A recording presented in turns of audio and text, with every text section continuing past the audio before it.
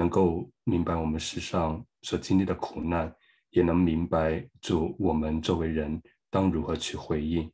愿你祝福每一位来到我们中间的弟兄姐妹的心灵，愿你自己亲自做工，让我们开通心窍，满有智慧，懂得你自己奥秘里面所赐给我们的爱与奇妙。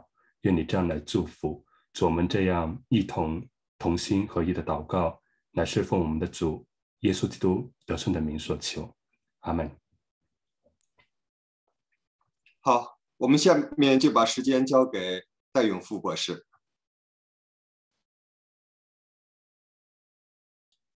好，谢谢，呃，谢谢，呃，呃，B C 讲他的邀请。那今天有幸可以跟大家分享啊，归纳，呃，有关那个，呃，这个什么呢？呃，三一性世界观和呃他的这个十字架神学对我们这个面对苦难的重要性。那，呃，我这次的讲座呢，呃，虽然关系到那个阿奎那或者这方面的比较深刻的思想，但是也不是什么很严谨的那种学术性的讲座，所以。呃，希望那个呃，可以让那个更多的弟兄姐妹可以可以更好的理解。那呃，目前那个在很多，不管是在西方还是中在东方，很多这个包括这个福音派，呃呃呃，改革中进信会呃的这些神学家，有发生了所谓的这个阿奎那复兴啊，所以大家呢。纠正了对阿奎那的这个各样的误解，然后认为这个阿奎那里面的这个很多神神学或者哲学思想对这个信仰是非常有帮助。那我也会用那个阿奎那的一些注释和这个阿奎那跟那个当代的那个托马斯主义者或者当代的那些神学家的这些互动，呃，给大家分享这方面的呃道理。好，那嗯。我们的这个大纲，我们的这个顺序，第一，我们是要看那个什么叫世界观啊，寻找答案。然后第二呢，难以接受的二元论，世界观所面对的挑战。第三，循环性旅程，世界观的结构结构。然后呢，三一星呃三一神的内在生命啊，世界观的根源。还有死而复活，世界观的缩影。最后就是先机的生活，世界观的实践。然后呢？我们就会给给予那个一定的结论。好，所以什么叫世界观啊？我们该怎么样比较通俗的解释这个什么？到底这个世界观是什么？那我们如果看我们的人生呢，有大小两种问题啊，大体上是这样子。当然，这个有很多有一些问题是很大的，有一些问题是很小的，有一些问题是比较大或者比较小啊，各种各样。不过大体上我们可以说那个。那个人生呢，有大小两种问题。比方，如果小问题，比方说是关系到，比方说，呃，今天的天气怎么样啊？这个是太小的问题了。呃呃，大一点，但是还是属于小问题。比方说，你的择业择偶的问题啊，啊，你的前途的问题，这个还是还是属于小问题。那大问题呢就不一样。大问题就是关系到那个这个人生的方向是什么，人生的意义是什么啊？是不是？宇宙从哪里来？上帝是不是存在？那这个就是属于大问题。那如果有大小两种问题，那必有大小两种答案。那问题是这样子：小答案没有办法解决大问题，而有了大答案，小问题迟早会得以解答。所以小档案，比方说我在这里找到工作了，我已经娶了一个老婆啊，比方说，或者我已经嫁给了一个呃一个人，比方说。或者我现现在赚钱了啊，这些小档案呢，没办法给我们解决这个大问题啊。但是你有了大档案，上帝是不是存在？这个世界往哪里去？人生有没有目的？那小问题迟早就会得以解答。啊，没有大答案，小问题将来会带来大问题，使小答案变为无关痛痒。所以意思是这样子：如果你没有大答案呢？这个小问题呢，比方说你找不到工作，或者你比方说这个这个，呃，你的人生有一些挫折呢，会让你思考啊，那上帝是不是存在？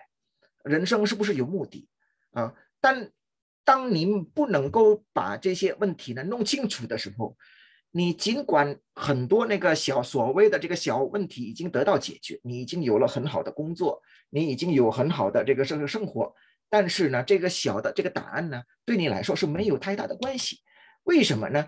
因为大答案是支撑小答案啊，这个大答案你就知道这个人生的意义在哪里啊，你知道这个这个这个上帝是不是存在，这个支撑啊支撑很多的这个小答案，所以如果你没有这个大胆啊，一旦你的问题出现了，你的人生有问题的，你就会感到那个很灰心或者很很失望啊，就好像是是是人生是没有方向啊，那。大答案就好像我刚才说啊，人生的这个大问题、大答案，或者我们可能如果用中文可以说是大灾问啊，大灾问是事关人生的意义啊，生存的理由啊。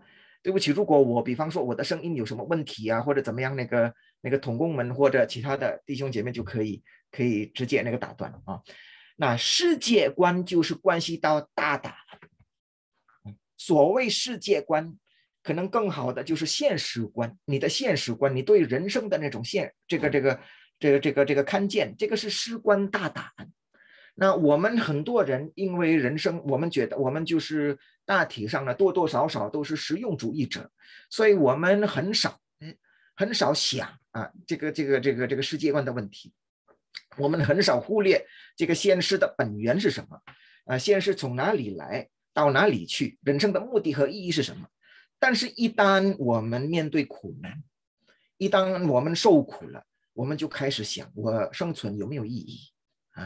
这个以后呢，到底我的眼泪呀，有没有会会不会被擦干啊？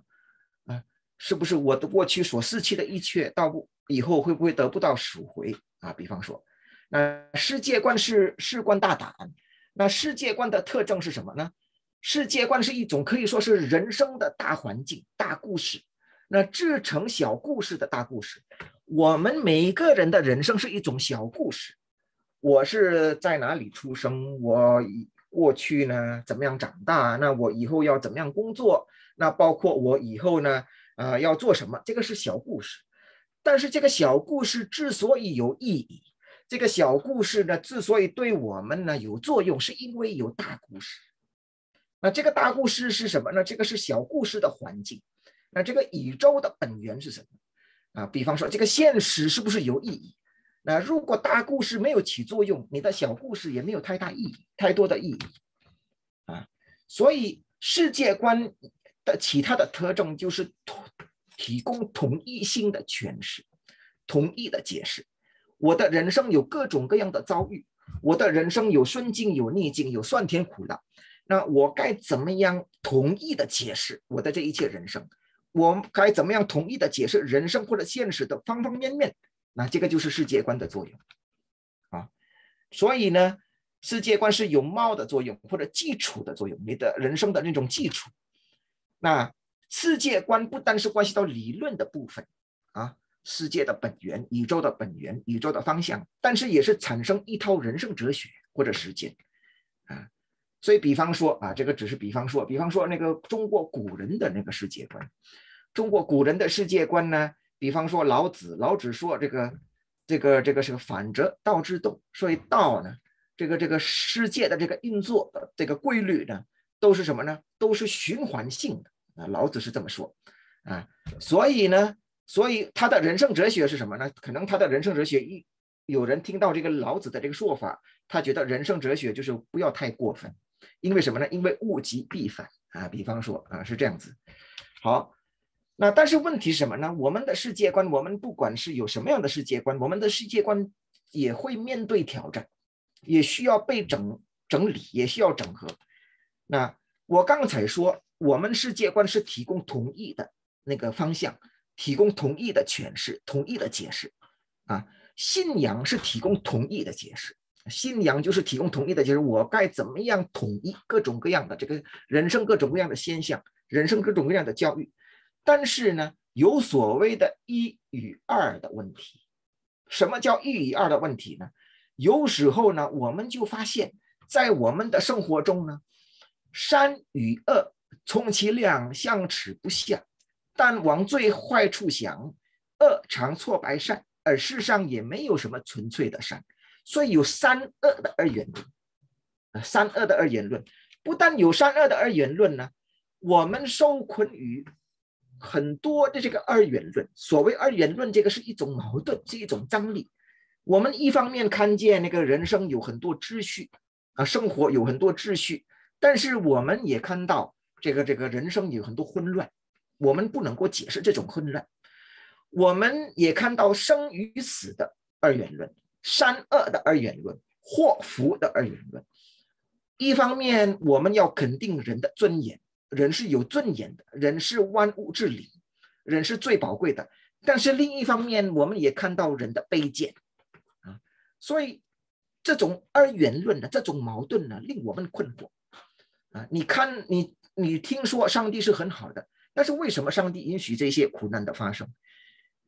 你听说那个世界的各方面都有智慧，都有它的设计的，一切都有秩序，但是另一方面，有时候我看不清楚，我有时候理解不清楚为什么有许多混乱。你觉得那个一切都是有上帝的祝福，但是为什么有很多祸患啊？比方说，啊，那理性是总是寻求一，啊，是这样子。那这个也是康德很有名的这个说法啊。有一个德国的哲学家康德，我们的理性是追求普遍的解释，我们的理性是不满于二元论，我们的理性不满于这种矛盾，我们的理性是要解释为什么是这样啊。这个就是。世界观啊，我们要学习世界观的一个原因啊，人为什么开始想这个世界观？因为呢，他就面对这个人生各种各样的这个所谓的二元论或者矛盾。但是有了世界观，有时候我们的世界观也是被挑战，好像我们的世界上观无法解释这种令人窒息或者令人费解的二元论啊，所以我们需要调整我们的世界观，我们要重新思考我的世界观是不是能够提供统一的解释。那这个是所谓这个世界观所面对的一和二的问题。那那很有意思的是什么呢？那刚才我们已经讲了背景，什么叫世界观哈，或者对是这个世界观的一种挑战。那现在非常有意思的什么？基督教的特点就是基督教的世界观是一种旅程性的世界观，或者是一种因动性的世界观。那这种世界观呢，不是停滞性的。这个世界观不只是告诉你世界的本源是什么，不只是告诉你这个世界的性质是什么，但是也告诉你世界从哪里来，现在怎么样，以后往哪里去。所以是一种旅程。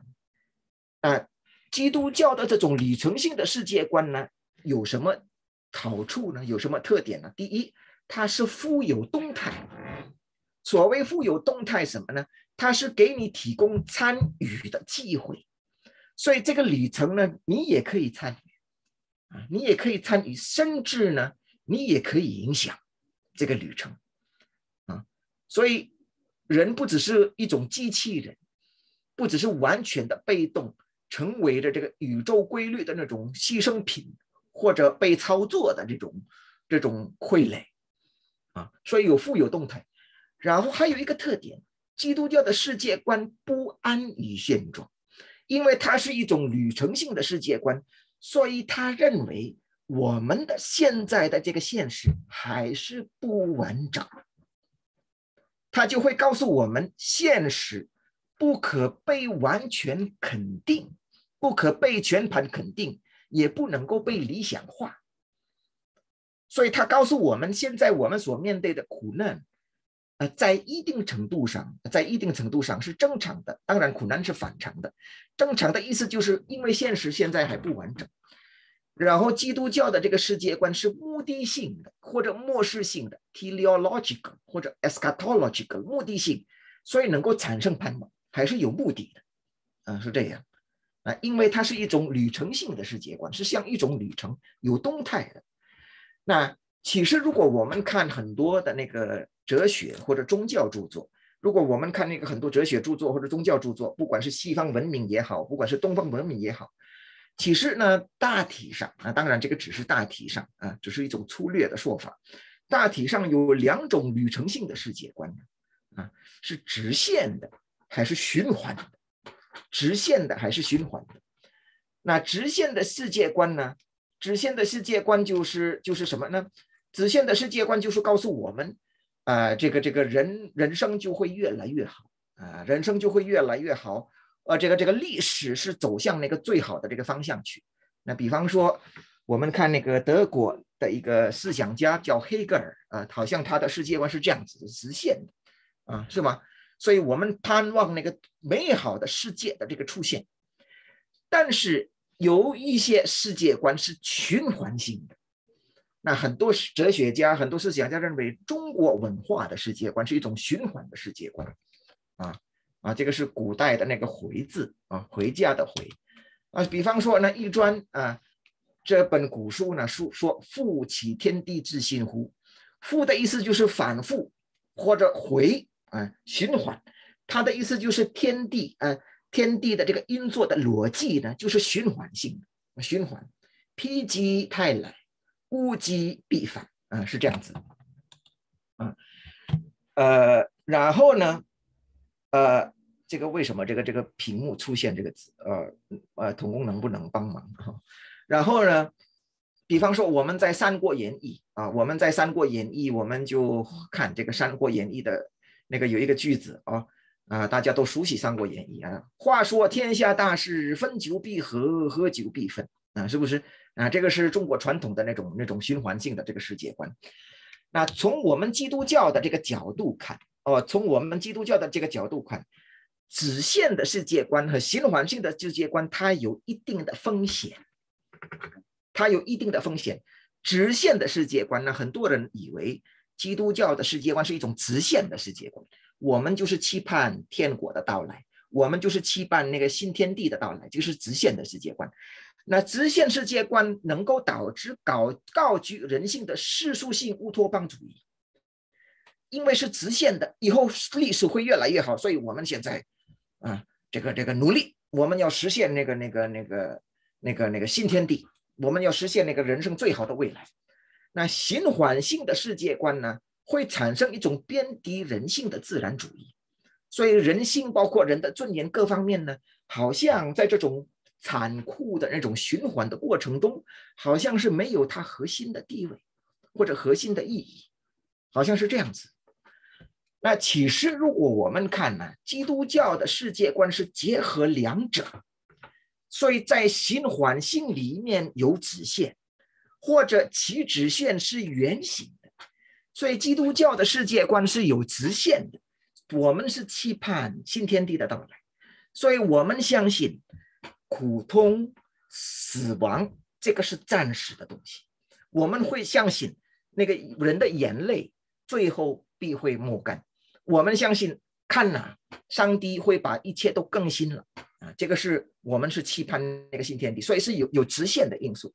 但是这个直线是一种圆形的，是一种圆形的，所以在新环境里面是有直线啊。那这个是何从说起呢？啊？那所以这个就是，呃，一个一个神学家呢，叫约拿丹·爱德华兹啊。约拿丹·爱德华兹是一个改革宗神学家，也是一个人家说是最后的清教徒啊。爱德华兹把它称为荣耀循环 （the cycle of glory），意思是什么？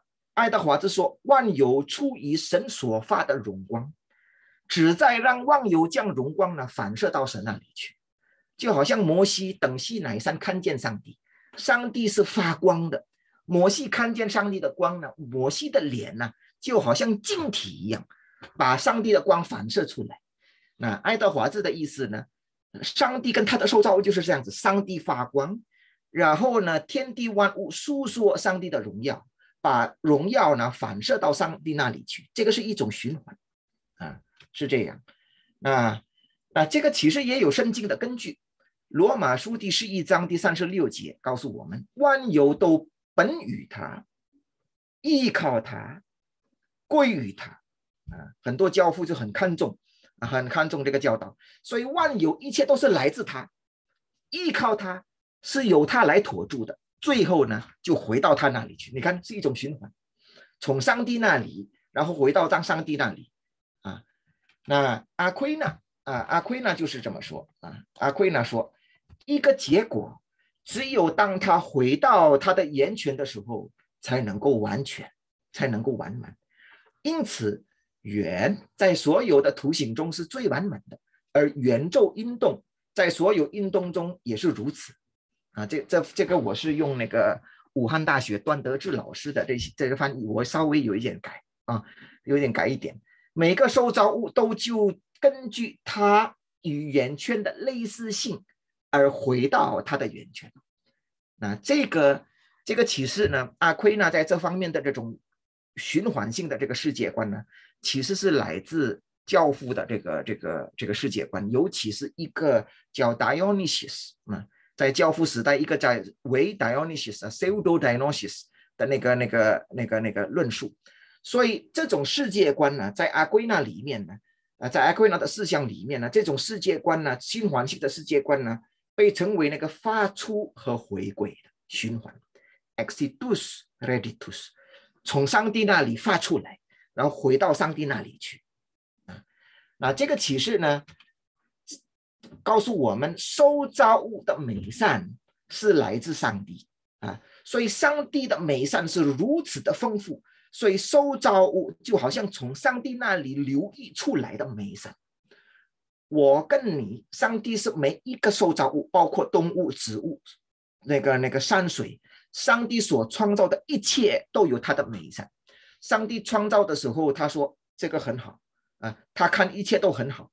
那为什么这一切都有它的美善呢？因为都是来自上帝，神就是美善的源头啊。但是呢？我们这一切受造物虽然是有美善，我们还没有完美，我们还需要成全自己的本性。所以成全本性呢，达到完全，只能是在哪里呢？回到上帝那里去。所以有美善就是流从上帝流出来，成全美这一切呢，就是要回到上帝那里去。所以在这里呢，有 reflux，有 influx 跟 reflux，有流溢出来，有回流。啊，这种循环，那 pseudo Dionysius 啊，这个呃呃那个那个教父时代的一个作者，这个其实这个作者是是是匿名的啊，他用 Dionysius 当做是他的他的笔笔名啊，但是他叫什么名字我我们都不知道了。现在，那对于阿奎那的影响是比较大的。那他是这么说：万物出于神的时候，已经孕育着归于神的冲力，所以万物出于上帝的时候。已经包含着回到上帝那里的那种动力。神使他们出去的目的是让他们回来啊，所以上帝创造我们的目的是要我们归于他。所以奥古斯丁说，上帝为了他创造我们，所以我们除非回到上帝那里安息，我们的心里还是会焦躁不安。嗯，奥古斯丁是这么说，这个大体上也是这个这个意思。所以，上帝的美善既向外流溢出来，也吸引他者向上帝那里回流。所以很有意思的时候，很有意思的是什么？我们每个人虽然有上帝的美善在我们里面，我们也诉说上帝的荣耀，但是上帝那个伟大的荣耀，那个无穷的荣耀，不断的吸引我们回去。而当我们回去的时候，我们才能够成全我们在这里的美善。所以，我们。离上帝越近，我们就会越美，我们会越荣耀啊！大体上是这样。那所以 pseudo Dionysius 也是这么讲啊。受造物的两种内在倾向是什么呢？源于神或者依靠神，归于神或者寻求神。所以我们有两种倾向啊。这种倾向对有罪的人来说，他会感觉到这个是一种矛盾。一方面呢，他要依靠上帝。他要依靠，他要需要有一定的依靠。一方面，他也要寻求完善，但是因为不认识上帝，所以寻求完善呢，或者依靠呢，就成为沦为偶像崇拜。但是每一个人，每个受造都有这两种倾向：依靠的倾向，回家的倾向，啊，寻求上帝的倾向。啊，那这个也会影响奥古斯丁。所以奥古斯丁认为，罪恶啊，欲望呢，本来是对一种美善的那种假追求或者错误的追求。那有一位那个那个那个靠近那个改革时代宗教改革的那个一个一个，你可以说是现在的比利时或者荷兰呃的一个一个领袖大师叫 Jan Rusbrook，呃，他也是用 Dionysius 或者 Aquina 的这种新环性的那个那个什么呢？呃，世界观来解释那个三一神论，所以他用长草和推草来比喻，所以精力充沛的展现出神的荣美，这个是长草。所以，我们从山地那里出来是一种长草啊，是一种留意；然后回去呢是一种退潮，啊，心平心平气定的安息以神的慈爱，这个是一种退潮，啊啊，那那 r i s b r g 在这里要解释那个那个那个阿奎呢已经解释的东西，那就是关于默想的生活和积极的生活如的那种张力。默想我们怎么样过一个默想的生活啊？常常思考上帝的话呢，常常祷告。或者过积极的生活，实践性的生活，常常不是。那这个在亚在拉丁文就是 “vida activa” 跟 “vida contemplativa” 啊，默想的生活。那说他说默想的生活就是心平气定的安息于神的慈爱，实践积极的生活就是精力充沛的展现出神的荣美。那他说这这这个本来是一种循环，那人生就好像是这种循环啊。那我们心平气定的安息于神的慈爱的时候，我们受到力量，我们再次、再次精力充沛的展现出上帝的荣美，然后再次又是安息于上帝，这样子我们的人生就是一种有直线的那种循环。那这样子我们就能够明白，这个所谓荣耀循环是一种流溢和回流、浪潮和退潮啊，有时候。也可以被理解为降下和升上，啊，圣经说一切美善都是从上头来的，呃，是降下来。那因为降下来，它也必须升上去，它也必须让人那个荣耀上帝。那这个以后我们就会看见降下来升上去，这个是比较适合于解释道成肉身，所以道成肉身也是一种循环。那所以循环性。世界观呢？这种这种循环性的旅程对阿奎那来说啊，这个是一种世界观的结构。所以阿奎那是这么认为：人的存在使荣耀循环表现的更荣耀，也是更适当。为什么更荣耀？因为人是最像上帝的，所以万物怎么回到上帝那里去呢？被人带领，所以人是带领万物或代表万物回到上帝那里去。当人荣耀上帝。万物通过人也荣耀上帝，那这个更荣耀，为什么呢？因为在万物之中，人在世界上人是最像上帝。为什么更适当？因为阿奎那认为，自然因为这个回去呢更适当，回到上帝那里更适当。如果这种回去呢是出于自愿的，出于理性的理解，出于意志的肯定，那动物是没有理性的，植物是没有意志和理性的。所以，当人有理，用他的理性和意志呢，荣耀上帝，那人这个受造物在人的身上，啊，出于自愿的回到上帝那里去。那后来呢，我们就会发现，如果我们看阿奎那的这个神学大全啊，神学大全，那现在大体上这个大体上是一种公式，虽然有一些呃呃学者不是很统一，但实际上是一种公式啊。神学大全的架构是发出和回归的架构，啊，所以如果你看这个神学大全，你好像是进入一个大教堂，啊，里面的那个结构很严密，而且是相互关联的。那阿奎那的这个系统神学或者神学大全呢，是一种是一种这个什么呢？是一种用这个发出和回归这个宏大的愿景，赋予万物以终极的可及可知性。阿奎那的前半部分，神学大全的前半部分是通是解释发出万物怎么样从上帝发出来，后半部分是解释回归，中间是解释耶稣基督。所以耶稣基督就是发出跟回归，呃，回归。那这个这个耶稣基督可以说在中间，因为他可以在这样在一定程度上可以这么说，耶稣基督就是发出和回归的这种这种这个什么呢？索引或者这种核心。那那阿奎那认为，那万物的终极的可知性，我们可以知道万物是因为它是从上帝来，也是会回到上帝那里去。啊，循环意味着运动，运动蕴含着那运动在这里呢，意味着戏剧性的这个互动。那魏格的戏剧性的互动，我们可称之曰叙述。所以这个运动呢，这个循环的运动本来是一种故事。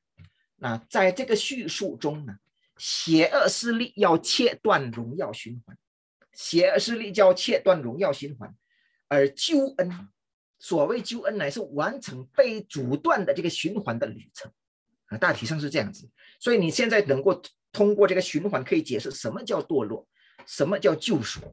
那更有意思的是什么？在阿奎那的思想体系中啊，这循环性的叙述是三义性世界观。为什么呢？因为万物的循环源自神，归于神，反映出父和子在灵里的循环，源与父，归于父。那这样啊，所以我们现在就开始谈到那个三义神的生命，三义的内在生命啊，世界观的根源。那起点是什么呢？奥古斯丁和阿奎那的三义论啊，这个有一点抽象啊，但是我我会想办法呃比较通俗的给大家解释。那阿奎那跟奥古斯丁的三义论呢？呃，他们的有一个特点，位格对他们来说呢是一个实存的关系，relatio subsistence），是一种实存的关系。这个是很抽象的，什么意思啊？实存的关系，他的意思是这样子：神的存在离不开两种形态，本性和关系。啊，神是有他的本性，有他的关系。啊，那所以这个是神的存在的特点。那本性。神的本性 （substance） 啊啊，是事关神的独一性，但是关系 relatio 是事关神的位格的多元性，所以关系是指位格啊。现我们很少听到有人说那个位格就是关系，但是这个是属于西方三一论的特点啊。那但是这个其实也是加巴多加教父的一个教导。那关系许多关系是概念性的。意思什么呢？许多关系是不是实在的，或者不在事物里面？它在我右边，A 省是在 B 省以北，河北是在河南以北啊。这个这个关系是其实是是你可以说是是不存在的。这个关系只是就一种概念。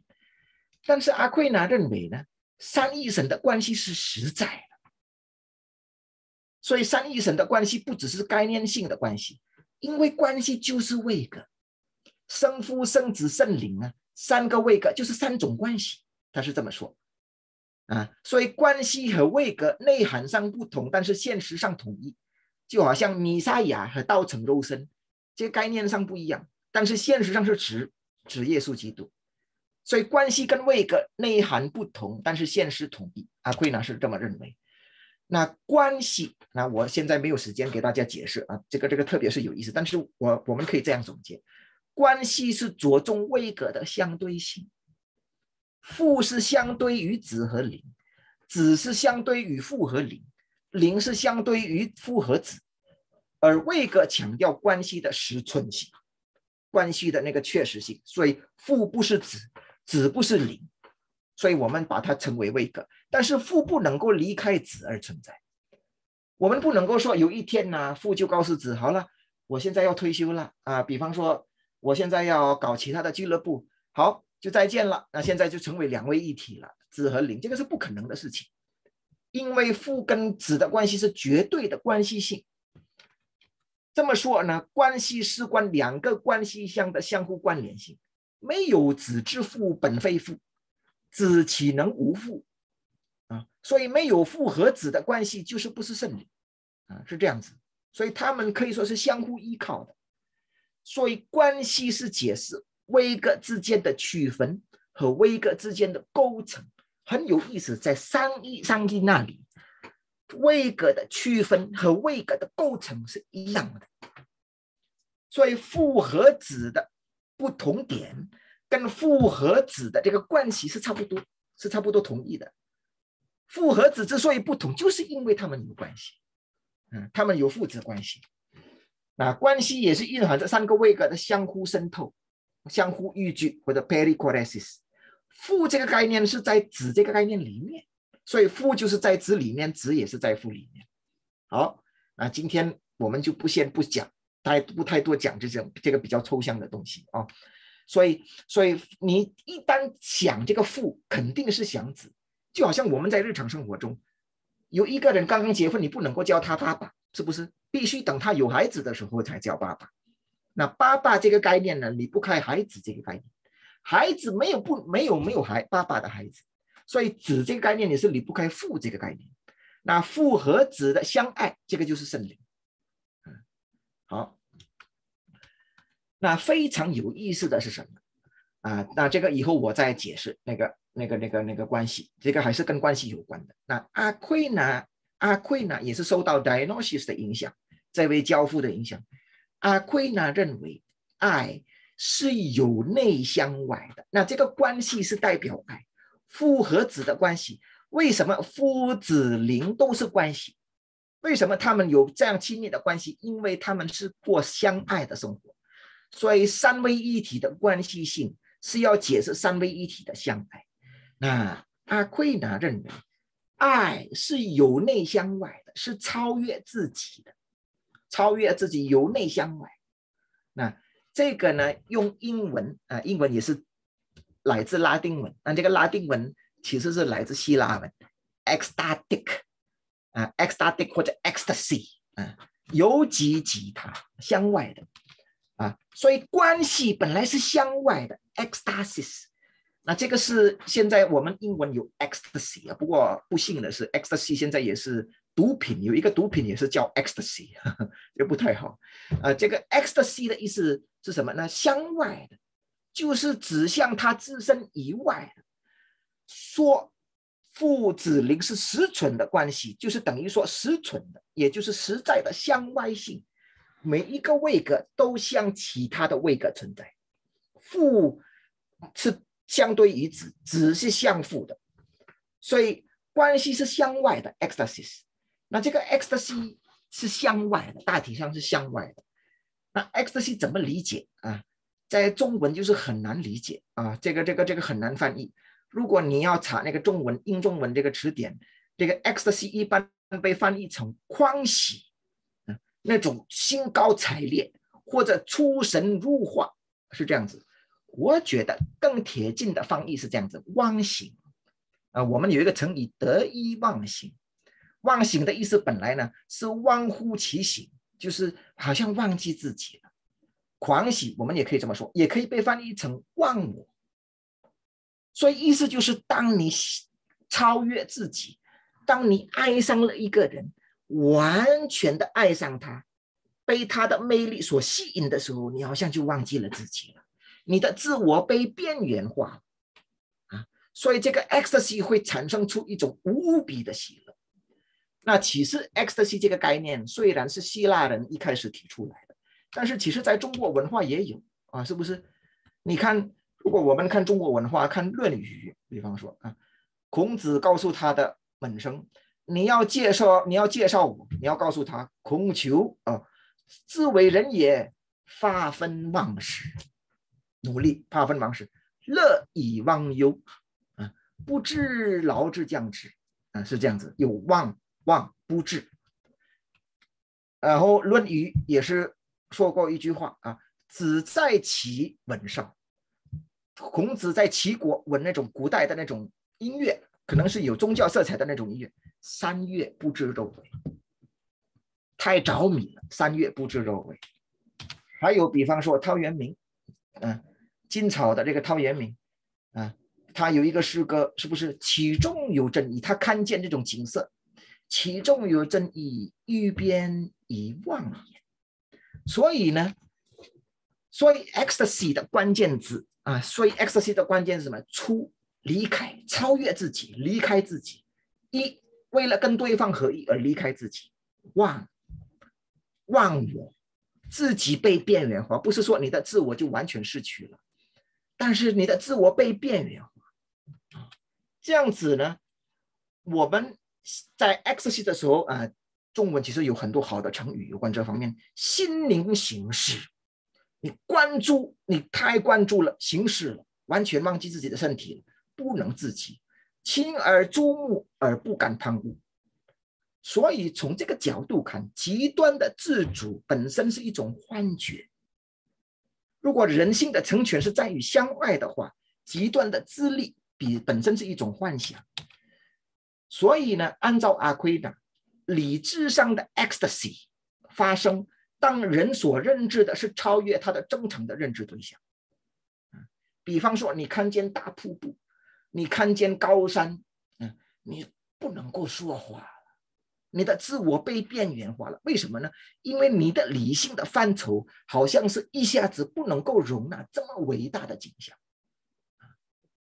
还有呢，阿奎那认为意志上的 ecstasy 发生了，这个 ecstasy 我暂时啊，这个不太好的翻译，我暂时翻译成离己啊，好像是离开自己，发生仅当人对某事的渴望，使之忘乎其形，被所爱者完全的占据，你忘记了自己，好像是这样子。哦，那所以。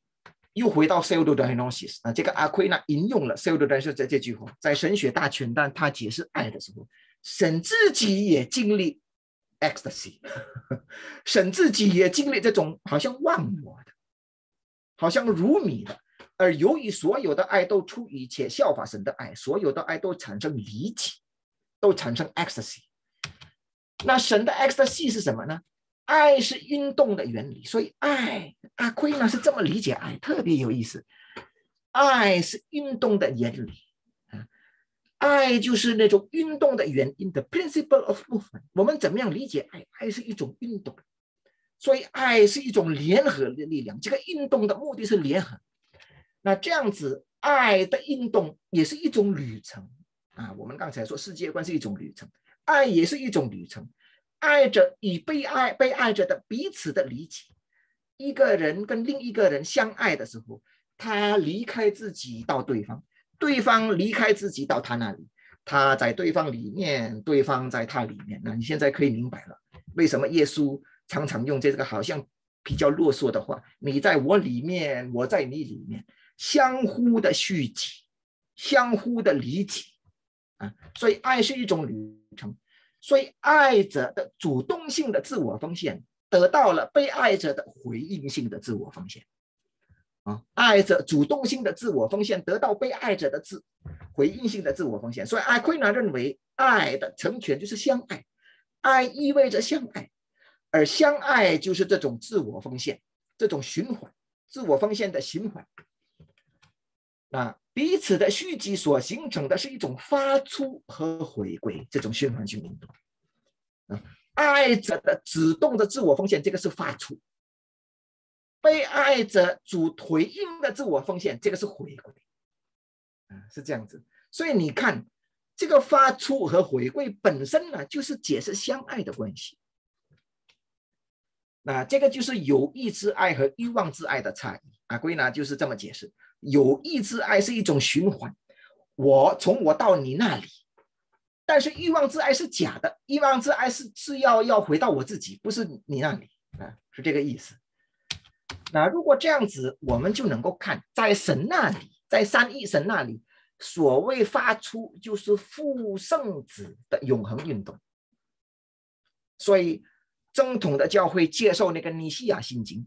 尼西亚信经也可以说，在一定程度上就是我们的使徒信经的那个基础。所以尼西亚信经说，那个子是收生而非受造，发出就是复生子，意味着什么呢？复生子是复将其所有给予子，复将他的神性，将他的一切给予子。那这个就是复生子，这个是发出。所以它的它意味着什么呢？子的存在或者所有都是从父那里来。的。子的一切都是从父那里来的。那回归是指以感恩的心将其所有献给父，所以发出父生子的永恒运动啊。回归就是只把一切献给父。那从这里我们就能够看圣子，圣子的存在方式是以领受性和回应性为存在方式。那这个启示呢，是阿奎那之前的一个神学家叫 Bonaventura 啊，解释这个，强调这个。那阿奎那不是有很有系统的强调，但是尤其是他在他的约翰福音的注释，他有这方面的强调，只是以领受性和回应性 （receptive 领受），他从上帝领受，从天赋领受一切回应 （responsive） 为他的存在方式。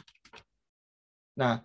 如果这样子发出和回归都是续集之爱的表现，所以我们现在能够看发出和回归最基本的就是解释父和子的关系，父圣子只把一切献给父的这种关系。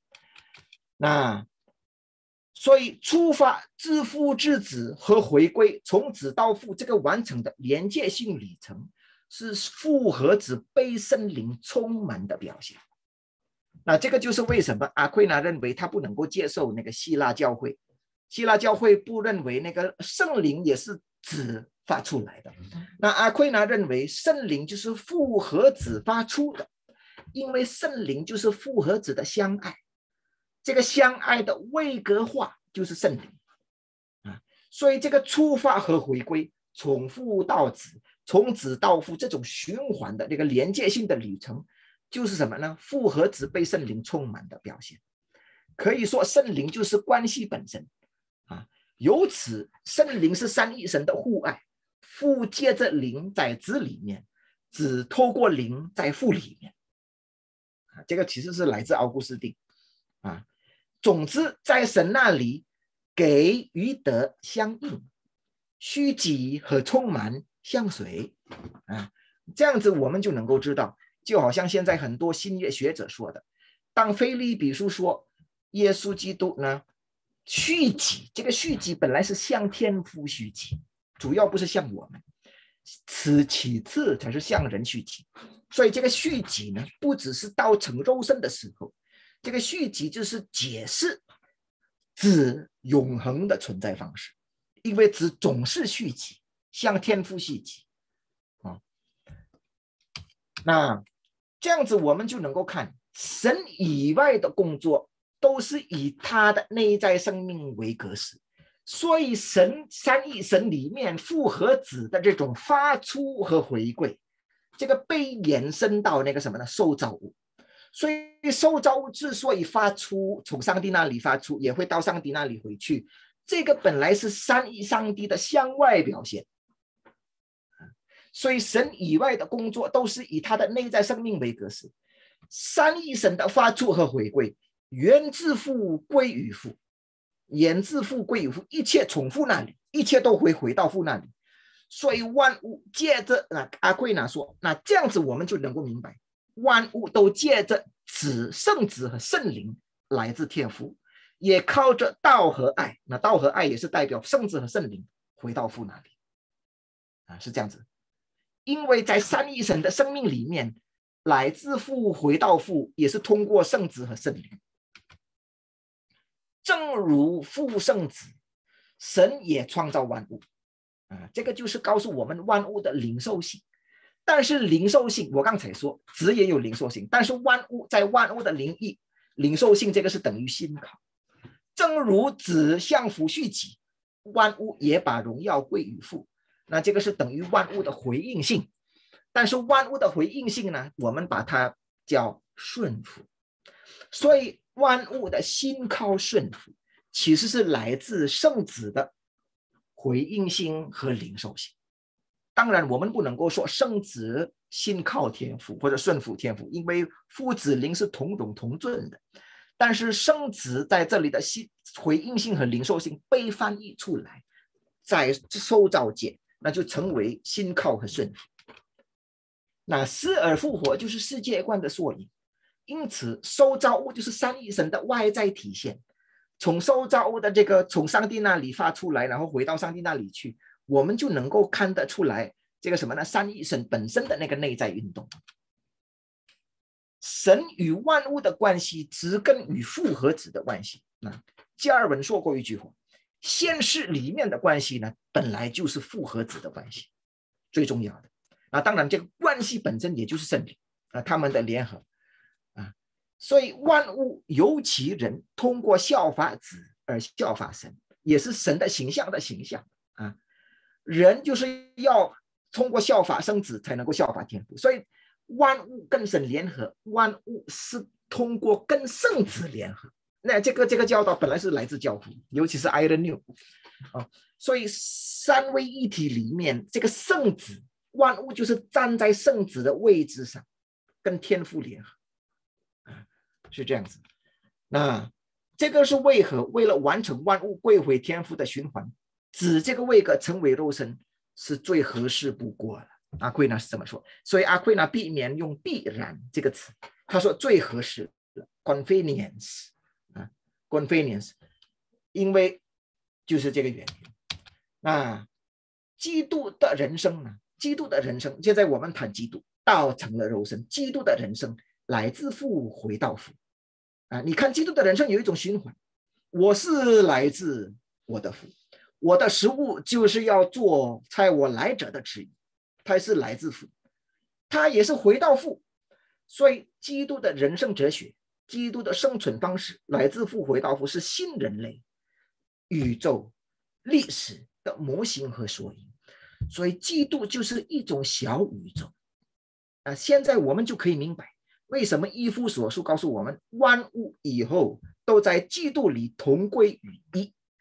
Anna k e p h a l i u s i s 如果用那个希腊文，那个初期教会的教父尤其艾伦有很好的抓到这个意思，所谓。同归于一的意思就是宇宙在基督里面得到总结，意思就是基督的人生总结了宇宙的这个运动。基督来自父，回到父那里去。那借着灵成肉身，到借着灵成肉身，而灵以基督复活后才临到教会。因为什么呢？因为父生子和子相父续集都是复合子发出圣灵的表现。那这一点我就不再不得不不多解释了，因为时间的关系。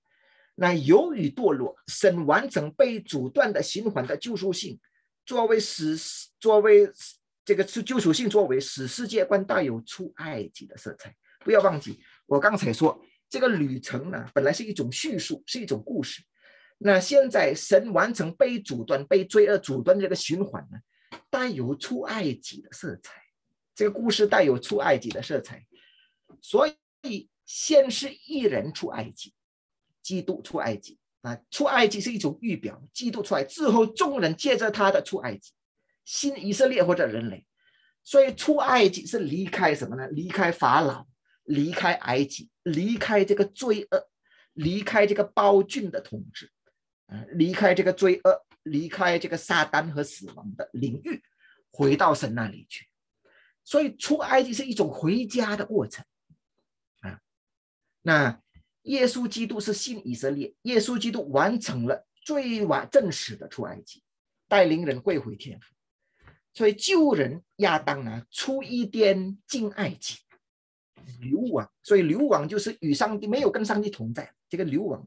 信人幕后的亚当出埃及回伊甸，回到上帝的同在中。所以伊甸在这里是回到上帝的同在中。啊。出埃及或者逾越节和受难，既接续已中已经中断的循环，也是一种循环。出埃及或者逾越节，那逾越节就是等于我们的故事死而复活，这个是一种循环。为什么？因为我们保，尤其是基督是新的创造，我们要等到新创造的实现以后，一切都要回到天父那里去。格林多前书第十五章二十八节，莲子把这个国度就给这个他的父。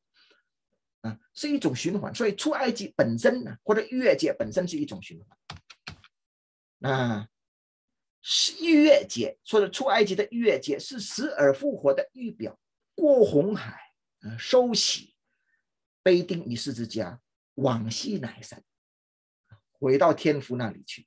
所以以色列先离开过红海，过红海就是海是代表苦难，水在圣经是代表混乱，往西乃山，上山。登山与天父同在，与上帝同在。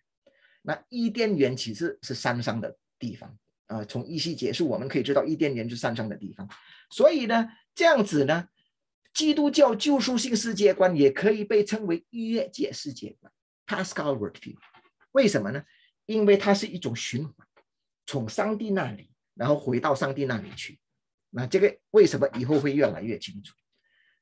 那远叙述在这里，埃及就等于远叙述，事关整个圣经和基督的信息的故事。所以，我我就是总结一下：如果世界观是一种循环，从上帝那里回到上帝那里，那这个循环也是一种故事。那圣经告诉我们，这个故事是出埃及的故事，或者逾越节的故事。逾越节的故事和出埃及的故事是以基督的死而复活为他最清楚的实现。那。逾越节的核心意义是什么？那在这里要注意，逾越节的核心意义是经过献祭，嗯，受难、受洗、受难，回到上帝那里去的旅程，这个必须经过献祭，啊，必须经过献祭。那献祭祭物的希伯来文词根为 kor 啊 korban，靠近，所以献祭者归于神之路或者联合之道，献祭就是联合之道。很有意思，这个阿奎那不明白希伯来文，但是可以已经明白了这一点。他说，献祭所代表的就是献祭者回到上帝那里去的这个运动，靠近上帝、转向上帝的运动。所以献祭的格式是什么？如果我们看献祭，那尤其是反祭、反祭或者火祭啊啊，反祭这个本来是献祭的顶点，你可以这么说。献祭、反祭那就是什么呢？被分别为生，被分别为生，被转化，通过火被转化。通过火被转化以后，这个机物就上升了，这个机物就上升了。所以呢，爱是转化性，而神是爱，所以与神联合，回到神那里去，必须现死，才能够与上帝联合和效法上帝。但是这个烟呢，这个烟代表什么？焚烧。那这个意味就业学者是怎么说？焚烧是转化性的，他把所奉献的动物。和动物所代表的奉献者从地上带入天堂，成为神的所有物。那如果大家看这个这个图片啊，这个图片，这个是马诺亚有关马诺亚的这个图片，诗诗记十三章二十节，马诺亚参孙的父母，参孙的父母那个记载，他献祭的时候，他献祭的时候，从火焰从祭坛上往天升起的时候。耶和华的使者在祭坛上的火焰中也升上了，意思是回家，回到上帝那里去。所以这个动物呢，被火焚烧以后，它好像是死了，但是它的象征意义是什么？它的象征意通过死，它升天复活升天了，它成为上帝的所有。那献祭的逻辑是循环，源自神。归于神，你所献上的羊羔啊，你所献上的公牛，你所献上的你身体，就是从上帝那里，而且他还是要归于上帝，还要给上帝啊。那现在上升的烟啊，根据这个旧约学者的 Morales，上升的烟象征着人往上帝去的归回。那一切的献祭制度，就是耶稣基督的受难的那种。名字，所以呢，十字架就是变形自己。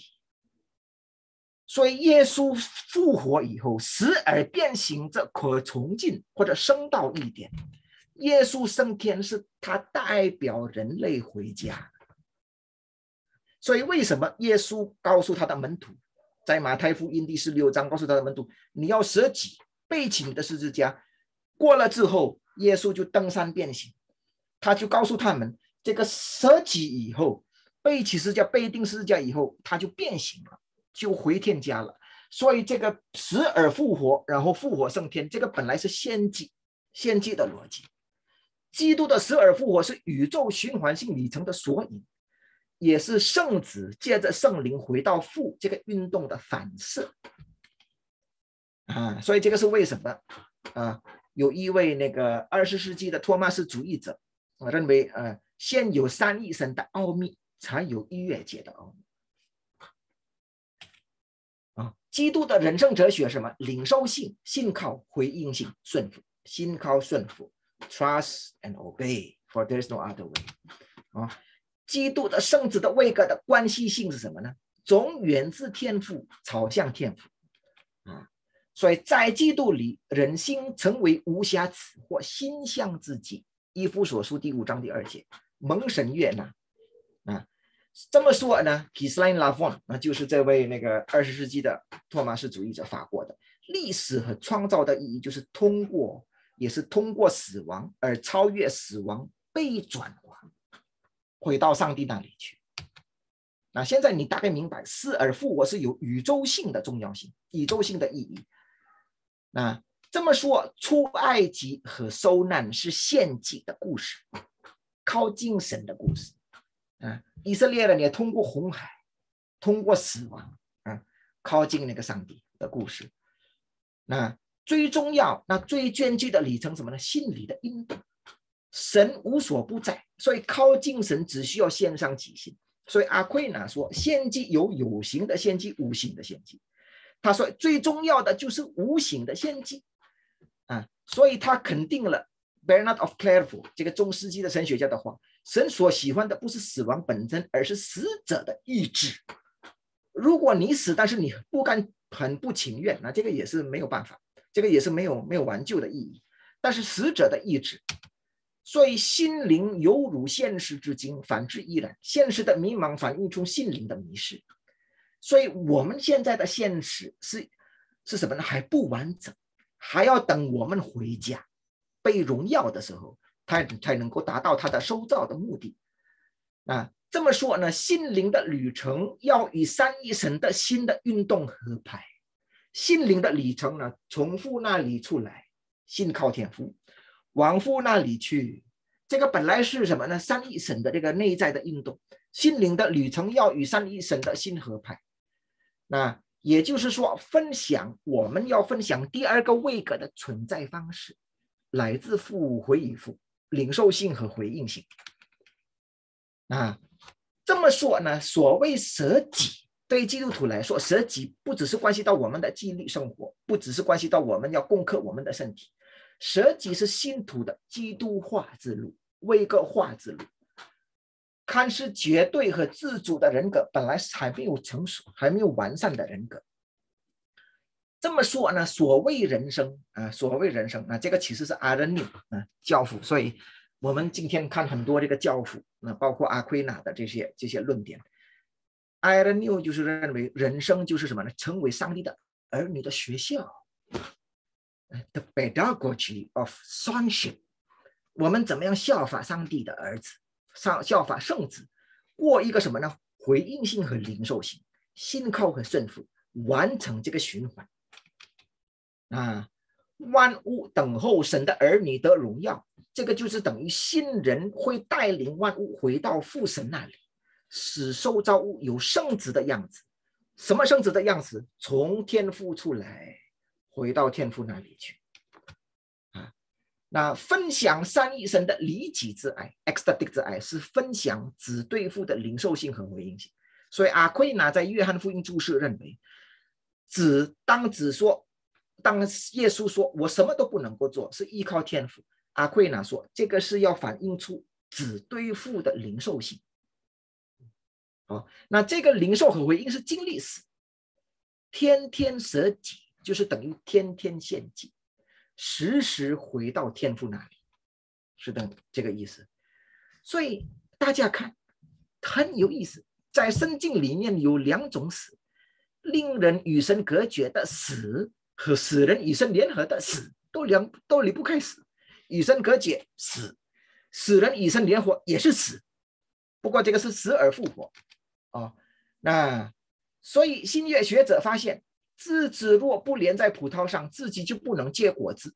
约翰福音第十五章第四节，这个本来让人想起约翰福音第十二章二十四节：一粒麦子若不落在地里死了，仍旧是一粒；如果死了，就结出许多果实来。照此理解，以基督合一，你在我里面，我在你里面，循环离不开死，不当祭物不会结出果子来。啊。与神隔绝、与神联合都需要死，但后者的死，与神联合的死是源自丰盛的生命，而带来更丰盛的生命。为什么？因为它是效法三一神的循环之爱。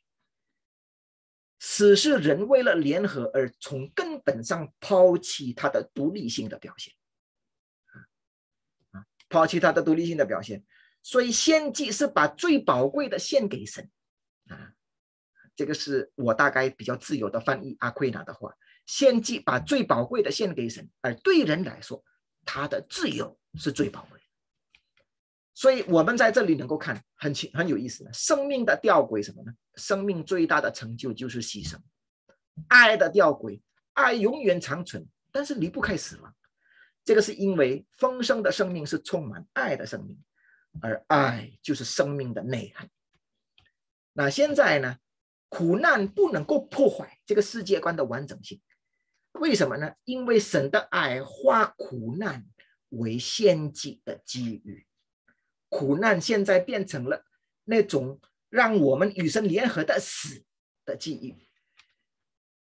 死或者离己的意志层面，承认自己的相对性来自父回与父，放下自己的独立性；意志层面，感情层面被神的魅力所占据，以神的心为心，而放弃自己的迷恋，离开自己。怎么样离开自己？被神的魅力所占据，以神的心为心。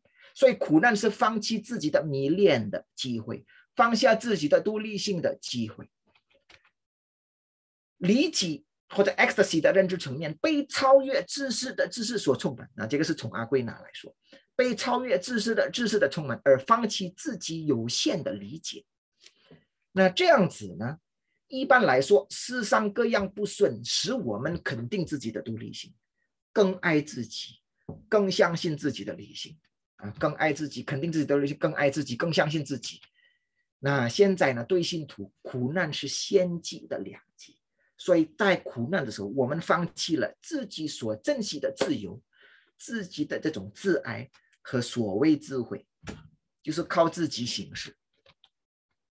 啊，先机铲除男主未核化过程的各样因素。那挑战世界观的二元论，就刚才我一开始说的这个所谓生死祸福，被以下的二元论所利用和淡化。现在这个二元论呢，什么呢？什么二元论呢？零售性和回应性，在人生这个领域内呢，就是等于人对付的信靠和顺服。顺境使人以顺服感恩，回应上帝的祝福；逆境让人以信靠预备自己，领受神的祝福。回应和领受，但是我们要想要知道，领受和回应、顺服和信靠都是重叠的。在领受的时候有回应。在顺服的时候也有信靠，在信靠的时候也有顺服，所以不管是顺境和逆境，这个二元论就成为了信靠和顺服这种新的二元论，我们可以这么说的机会。啊，好经历是一种涨潮，令人从神那里出去荣耀神，为神做见证；坏遭遇是一种退潮，让人回到神那里去的一种暗喜。啊。是这种二元论，当然，涨潮和退潮的界限本来是模糊而重叠的，在涨潮也有退潮，在退潮也有涨潮，啊，所以如此，爱的循环性旅程消化苦难，使苦难加强人与神的联合，带人回到神那里去，这个就是保罗所说的万事都互相效力，叫爱神的人的益处，意味着什么呢？这种循环的旅程消化苦难，使我们。回到上帝那里去，促进这个回去的里程。那外在的二元论被消化了，成为内心的二元论。所以这种外在的二元论，生死祸福，现在成为了内心的二元论，流出回流，心靠顺服，让我们能够享受到三一神自己的内在生命的那种节奏啊，我们可以这么说。那结论是什么呢？成功的世界观的特质是整合的力量。消化的力量，这个世界观是不是能够整合啊各样的矛盾各样这个人生的各样的矛盾？那基督教三一神论是信徒用以整合并解释人生历史和宇宙万物统一的思想基础。三一神论，那这个是我们从阿奎那可以学习。那三一神的整合很有意思，什么呢？不否定令人费解的二元论，生死祸福。既肯定人的崇高，也不否定人的卑贱，借此传扬爱的胜利。那这个就是什么呢？这一切都是基督教世界观的优越性。有一些世界观只肯定人的崇高，不接受人的卑贱；有一些世界观只肯定人的卑贱，不肯定人的崇高。啊！但是我们相信爱强于死亡啊，因为爱是来自三一神的这个内在生命。所以，我们看一开始呢，这个循环是从父到父那里是三一神，然后就这个三一神的这种循环呢，被外在反射，被外在投射，啊，被表现为万物的循环，创造、创造，从天父那里创造，回到天父的新天新地。那这种循环呢，也是成前在哪里呢？基督的循环，成肉身来自父，死而复活，回到父，我会升到父那里去。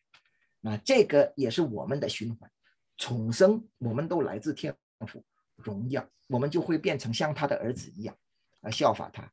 所以这一切呢，这种循环的一切都源于父，回于父啊，这一切。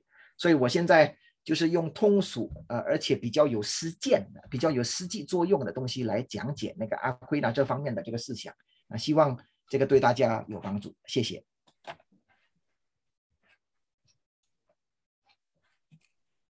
我们非常的感谢啊，戴永福博士如此精彩的。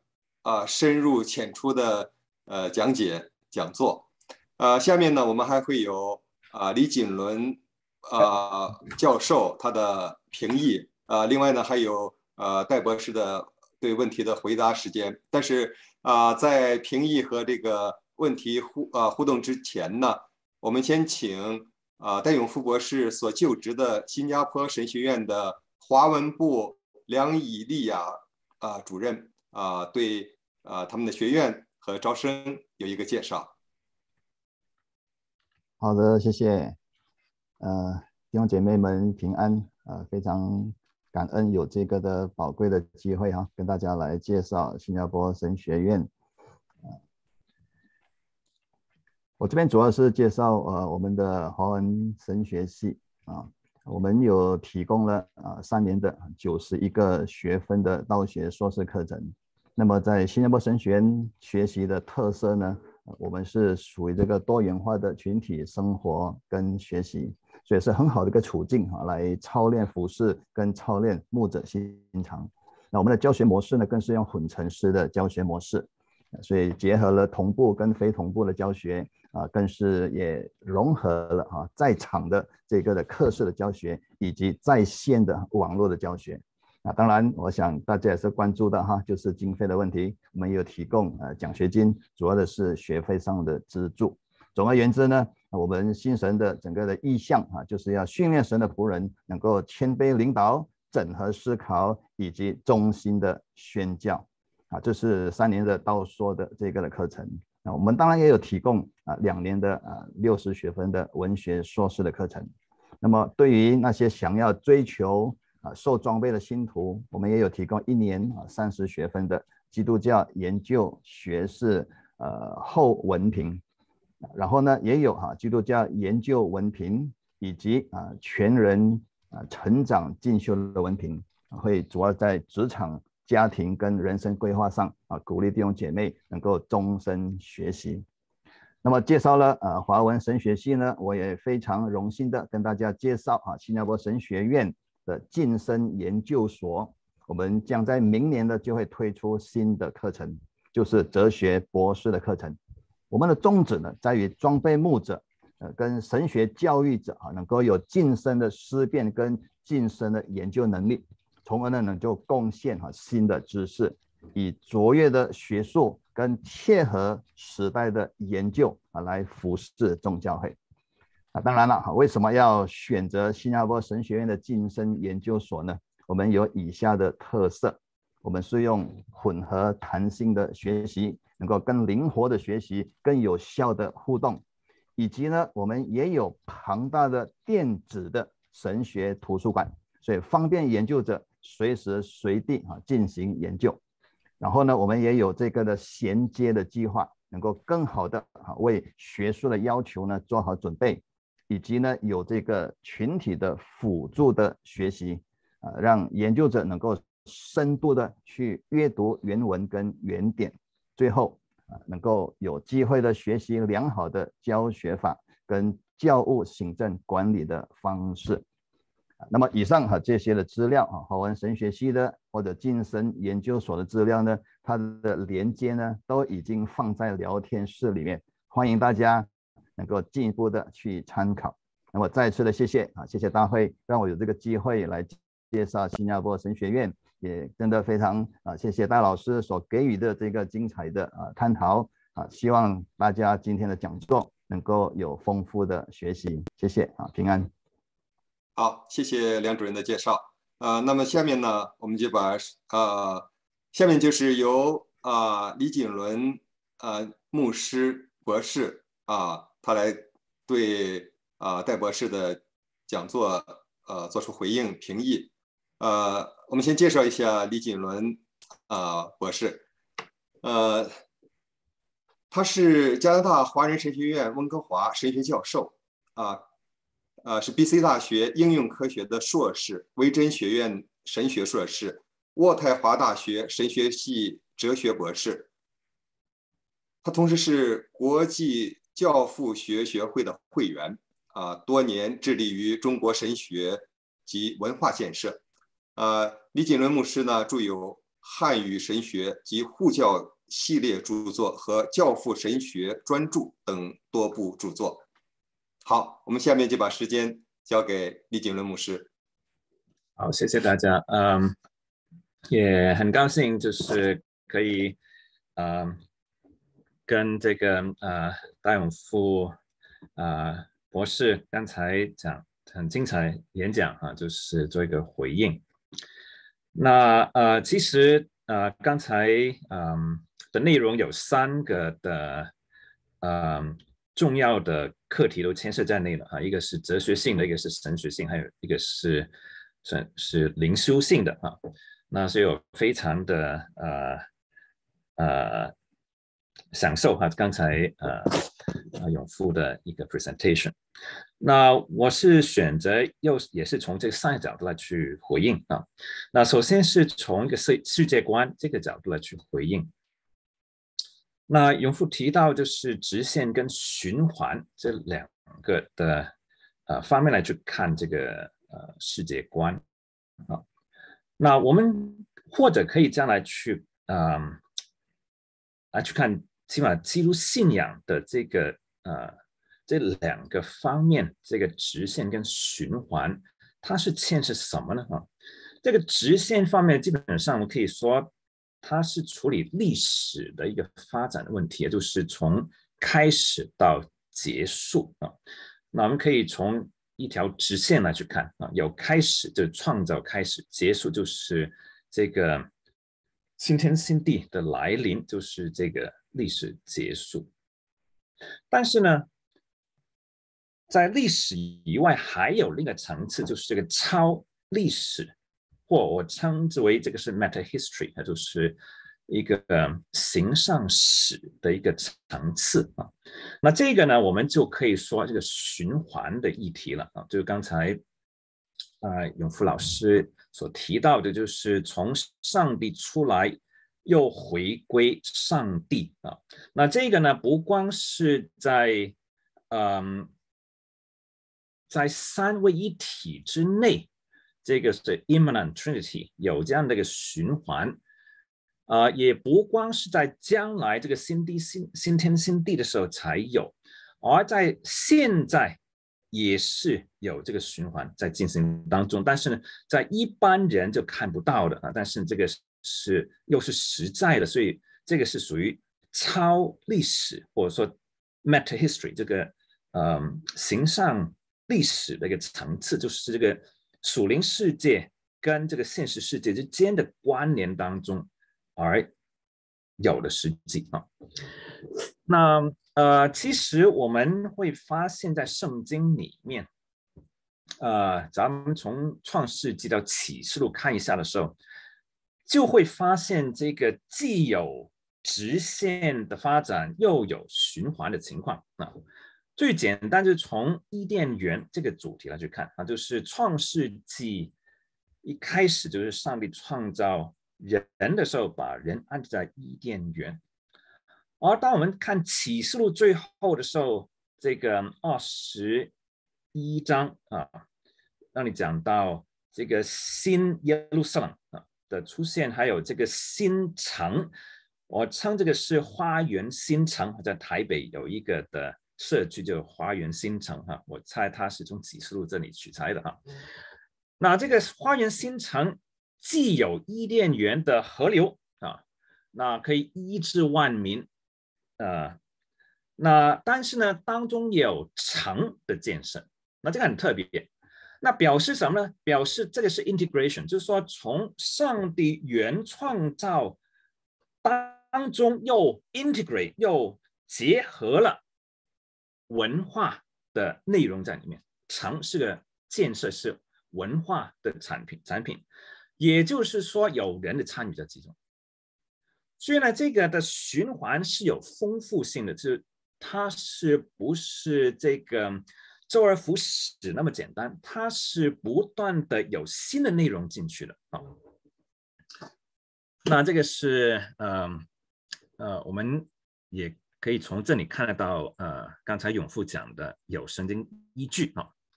那跟着呢，我是从反面来去看这个问题，就是从其他的。一个世界观啊，来去做一个 contrast，一个的对比。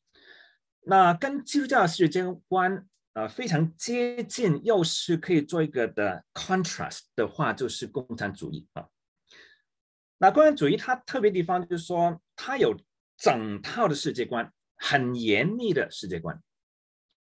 另外呢，它也有一个线性的历史发展的观念。就是说，从开始到末了啊，它的末了就是共产社会的出现了啊。那它的开始呢？它的开始就是唯物啊，就是从物质开始，然后呢，通过演化，然后呢，首先是这个生物的演化，然后到社会演化，然后呢，到最后有真人的出现，真正的人类的出现，就是共产。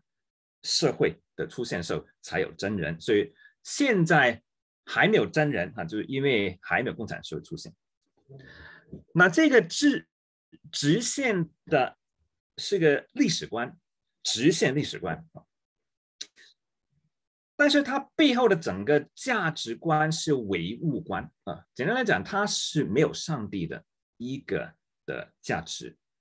那在这个情况底下会发现呢？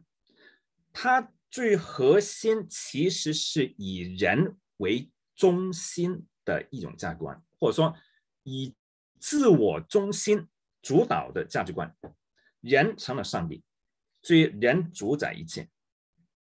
当然，这里也是可以为其他人服务的啊，有这样的一个概念。但是呢，这里毕竟是以人为中心的一种价值，在这里问题是这里。就是说，以人为中心价值观的时候，我们要分分小我跟大我的分别，就是都是我，但是呢，有小我跟大我啊。这个问题是什么呢？人有小我跟大我的分别的时候呢，小我跟大我两者之间谁说了算？OK，谁说了算？这很很重要的问题啊。大我又是谁来代表？啊，这里。我们从所有权来看问题的时候，这名义上是大家拥有一切，是大家的啊，但是行使权的是少数人的啊。最后呢，谁掌管人类的命运呢？就是少数人掌管。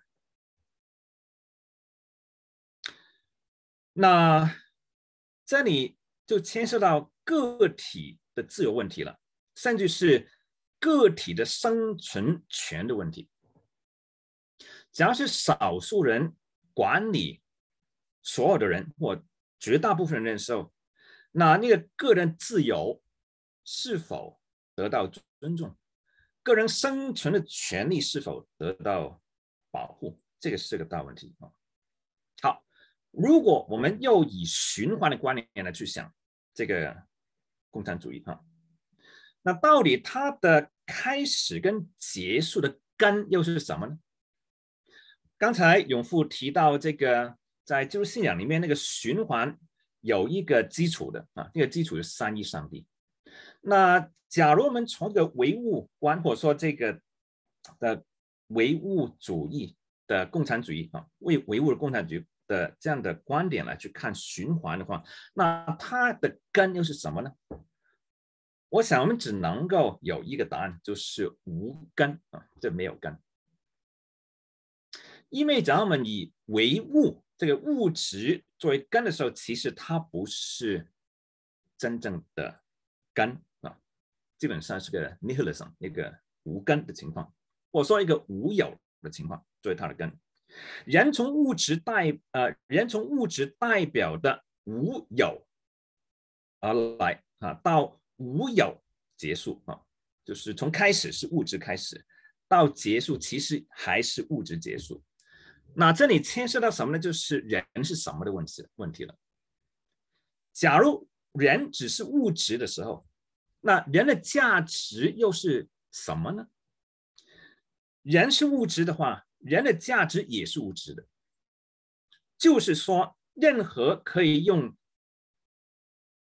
这个交易，就是以物质计价的方式来去交易的时候，这个人就是这种价值啊。那在这里就牵涉到谁掌握了资源，谁有话语权，或者说谁有决定权。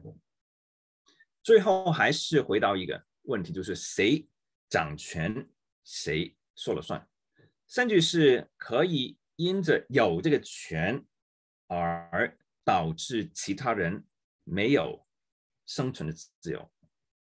所以，这个最后的乌托邦的世界，这个共产世界到底是什么世界呢？会不会是人吃人的世界呢？最终无有或无根发展，最后是无有或无根的结果，可能是人吃人。好，那今天可能我们更加时髦的一个议题就是科技集权的问题了。或者说，在背后是一个超人类主义 （transhumanism） 的议题。那其实你不要以为这个跟共产主义没有关系，其实是很有关系的，只不过是不同的名称而已。而且呢，是加了有科技作为一个工具，因为在超人类主义背后还是那个演化，就是 evolution 这个概念。而且这个是到了这个自导演化，这自我导演的一种演化，self-directed evolution。那所以呢，刚才讲到就是以人为中心的一个价值观，其实在超人类主义的核心就是这样的一个观念啊。好，那第二个议题，我想呃。做做一些回应，就是在三论方面哈。那刚才永富老师提到这个呃西方教会传统啊，跟东方教会传统。那当然阿奎拿他这个是继承了东方呃西方教会传统，从奥古斯丁下来啊。那到宗教改革其实仍然是继承了这个传统的啊。那东方教会呢，它呃也有一个传统啊。那基本上我们可以从 Cappadocians 加巴多加教父，呃，开始到中世纪到今天，仍然呃这个传统仍然呃有它的一个呃呃某一某一些的发展性啊。好，总的来讲就是说，在西方的传统，它是从一开始讨论啊，就是一个 essence 或。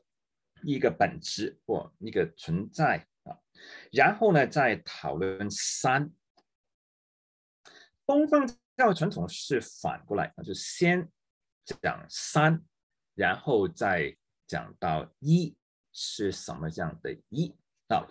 那这两个不同的 approaches，不同的进路呢，各有它的精彩地方的啊。那我们用这个从用语来讲。就是，呃，在西方教育传统是讲到 one essence 或一本质或一体啊，在东方教会呢是讨论 community of nature，community of nature 的问题啊，或者说 being 是什么？being 是 community 的实际啊，就合一啊，所以大做大在东方教会是讲到合一，哎，这个一是讲的合一。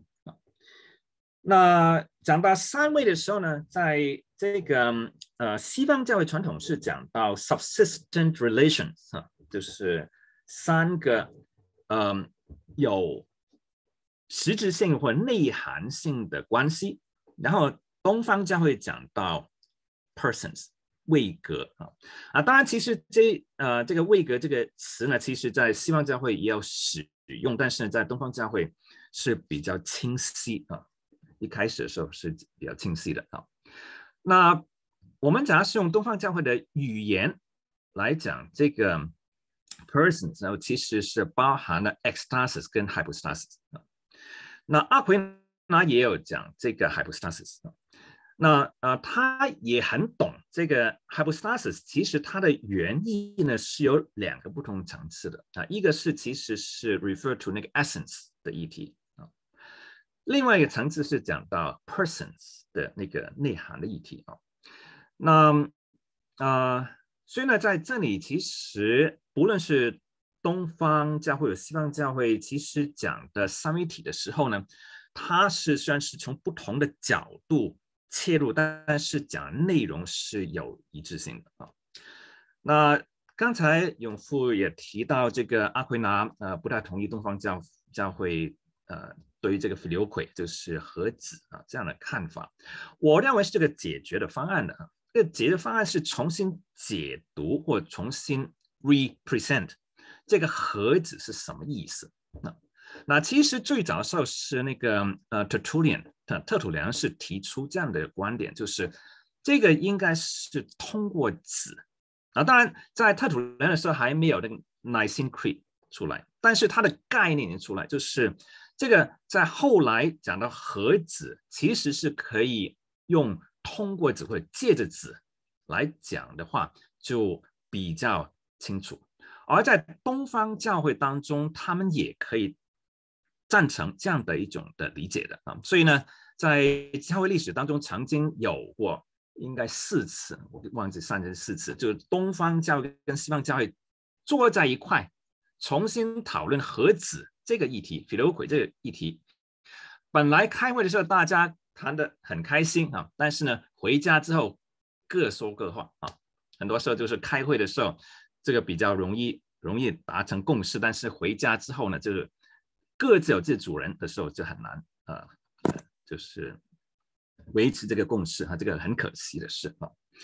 好，那嗯，它在这里是牵涉到这个永恒观的不同的看法。当然，这个不一定是真的不同啊，但是起码从看事情的角度可能是不同啊，就是静态跟动态的议题了啊。其实实际上来讲是。两个的看法呢，应该是有一个共同的内容的，只不过是看事情的角度不同而已啊。这个我在这里就不不多讨论了啊。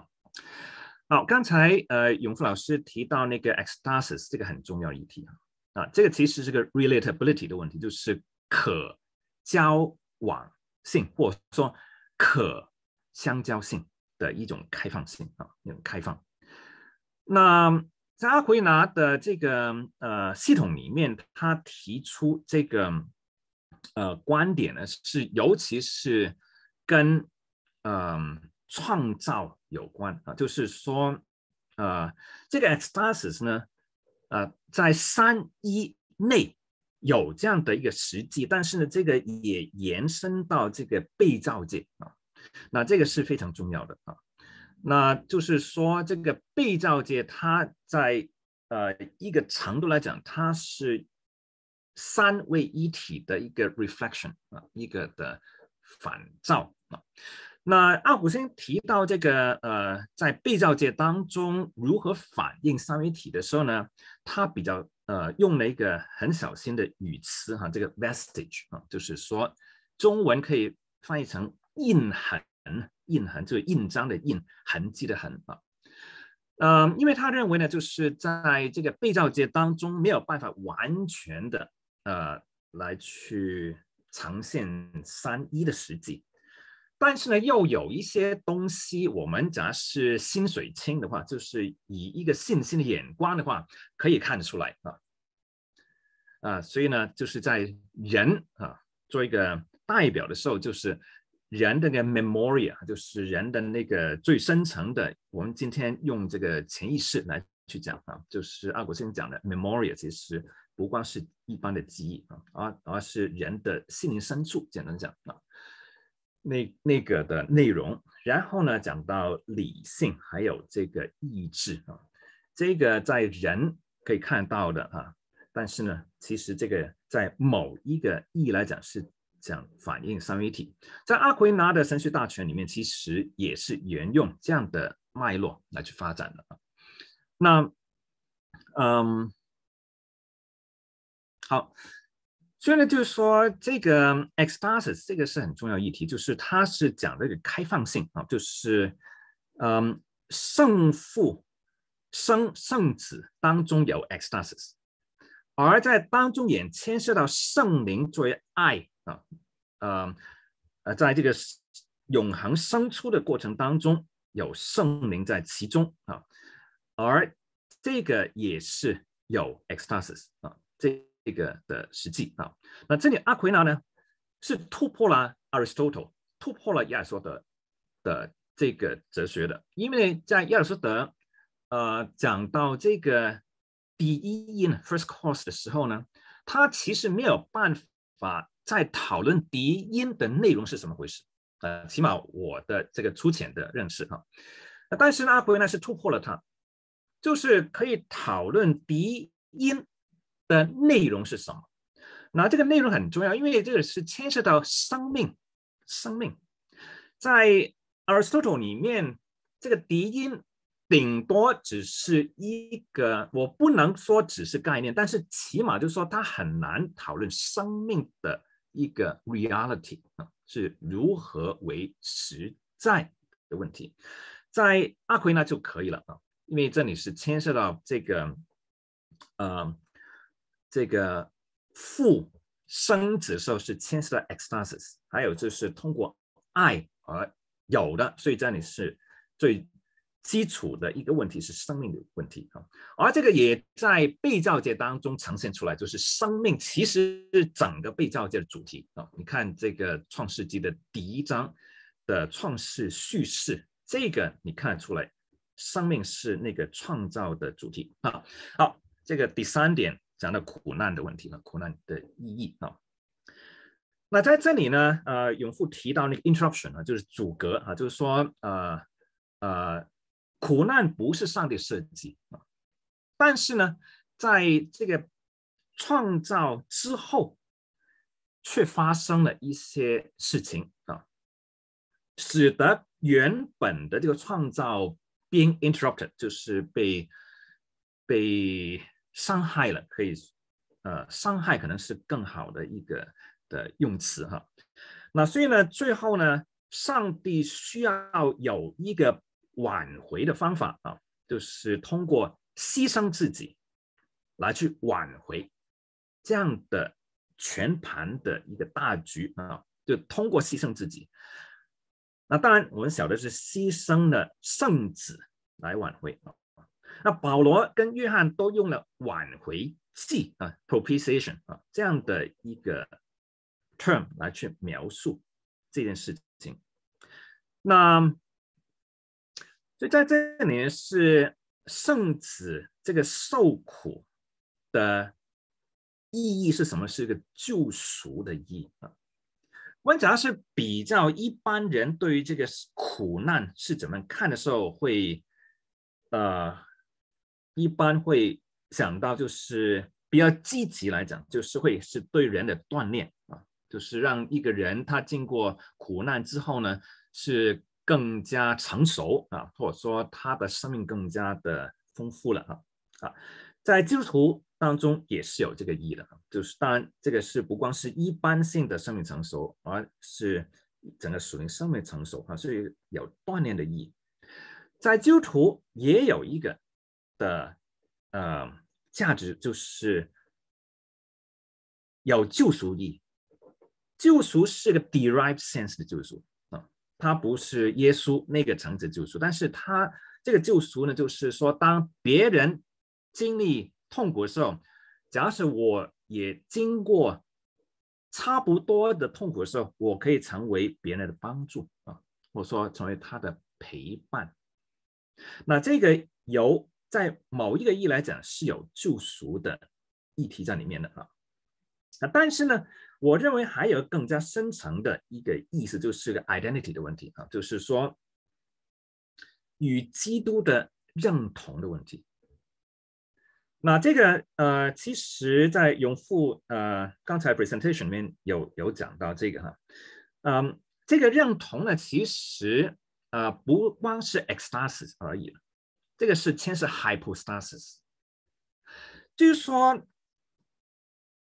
这个不是同情而已啊，同情是可以呃远距离或者说起码起码是有距离的。你看到别人受苦，是你好像不舍不舍得他这样受苦，所以你要同情他啊，sympathy 啊，这个顺啊，就是在一块，你的感受跟他感受一块。但是呢，其实，在圣经里面讲到耶稣基督那个受苦呢，他是跟我们是完全 identify 认同的啊。所以这个 sympathy 一般的意思没有办法讲得清楚了啊。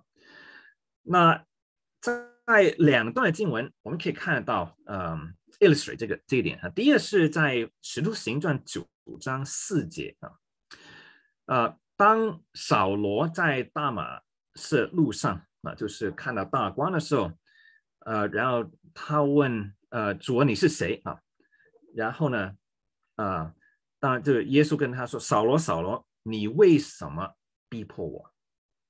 那注意，耶稣说：“你为什么逼迫我？”当然，所逼迫的扫罗所逼迫的是基督徒，逼迫的是教会。但是耶稣却讲：“为什么逼迫我？”所以这个教会跟耶稣基督其实是合为一的 identity 啊。甚至可以这样说，这个是中文有一个 term 就感同身受啊，那就是就好像他自己在里面一样啊啊。另外一段经文在马太福音二十五章三十一到三四十六节，他们讲到这个你坐在其中一个小子身上，就是坐在我身上啊，这个也是一个 identity 啊，这个这个 hypostasis 的议题了哈。那我们从呃反过来讲，就是说，作为基督徒或者跟随基督的人，也进入这个 identity 里面啊。有三节经文啊，嗯，我们可以看到哈。第一个是约翰福音二十一章十八节啊，啊，最后当耶稣向彼得显现的时候啊，呃，问了他三个问题：你爱我吗？哈，等等啊。跟着呢，最后一句很重要，他说：你年轻的时候你自己随意。呃，要去你去的地方，但是到年老的时候，人家会把你绑住啊，然后带你去你不愿意去的地方。那当然，约翰下了一个注脚注，就是说是讲到他们死，来荣耀基督。啊，第二个是在哥罗西书一章二十四节哈，啊，保罗讲了一句话是比较难懂，他说。我现在受苦是什么？在我肉身上补满基督患难的缺欠啊！啊，这个很难懂的。这保罗怎么样补满基督这个患难的缺欠呢？啊，其实唯一可以解得通的，就是说他在这里是讲到他与基督是同为一体。基督所受的是什么？他现在受。受的不是为他个人而言，而是为了基督的身体的缘故啊！所以在这里，这个 identity 是不光是个人的，而是这个整体啊，就是呃教会作为基督身体的整体。啊，第三就是约翰在启示录十二章十一节讲到，当这个幕后的时候，这个龙要迫害跟随呃上帝、跟随基督人啊。那他说，弟兄胜过他，是因着羔羊的血和自己所见证的道啊。这个是很 d e a 这个表达方式。这个羔羊的血跟自己所见证的道是二合一的表达方式。表达了什么？就是说，这个羔羊羔羊所流的血所代表的牺牲跟死亡，其实跟随他的人也会经历。而是通过这样的方式去见证这个道。所以在这里是牵涉到这个苦难甚至死亡的问题。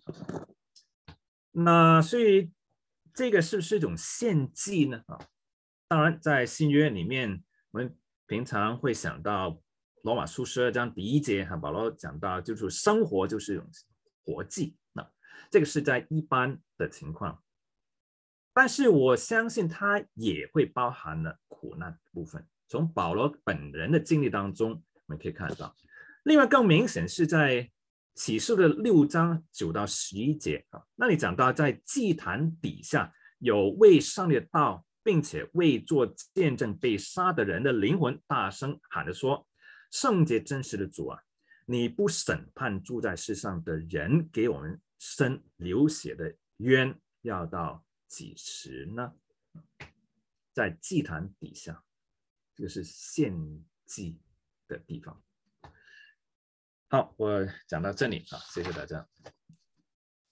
好，谢谢李老师的回应啊。那下面呢，我们把时间交给呃莉莉亚和呃戴博士。下面是问题的互动时间。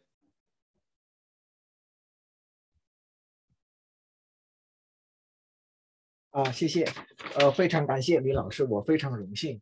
呃，李老师今天做评议人，呃，李老师是交付的这个专家，那啊，李老师的那些那评议，我就我就没有没有个人的那个那个那个回应了。我觉得呃呃非常好啊，有关那个那个那个呃这个什么呢？呃，三一论呢，东方和西方的三一论呢，确实有一点不一样。那那阿奎呢，这个把位格。理解为一种关系，是为为了要维护那个善意的上帝的那个独一性。那在这方面呢，东方神学家都都都非常反对。呃，他呃，他们认为是阿奎那，当然他们的批评是有道理的。那有有道理的意思就是阿奎那是沿用奥古斯丁的那个心理类比，所谓的这个 psychological analogy 的心理类比。那那现在那如果我们看那个二十世纪有很多像模板，像这些这些呃这个这个。他们也认为，呃，三一论的那种复合子的这个关系，呃，影响了直接影响直接体现在那个基督的受难，啊，基督的受难和复活，包括教会的这个这个受苦。那这一点呢，跟阿奎那有共同点，也有差别。那阿奎那认为，那个万物在那个包括道成肉身，这一切都是反映那个三位一体。但是呢，那阿奎那还是相信那个上帝自己是不会受苦的。啊。上帝自己是不会受苦的，那耶稣的人性还是会受苦。不过呢，啊，不过那这一切呢，就是反映出啊三三议论的那种关系。所以阿奎那常常用的那个概念是 analogy，analogy 啊，啊类比概念。所以所以不是完全一样，但是有类比的这个关系。但是那个那个刚才呃。呃，李老师说的那个 festigia，那个 festigia trinitatis，那个那个那个三义的那个痕迹啊，那个脚印啊，啊，这个这个包括那个呃人是是三义的那个 imago 啊，三义的形象啊，这个也是非常好。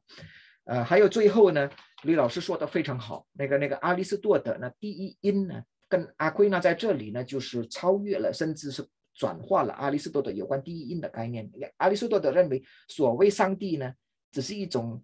只是一种享受自己的，就是思考自己的，呃，就是就是完全思考自己的东西。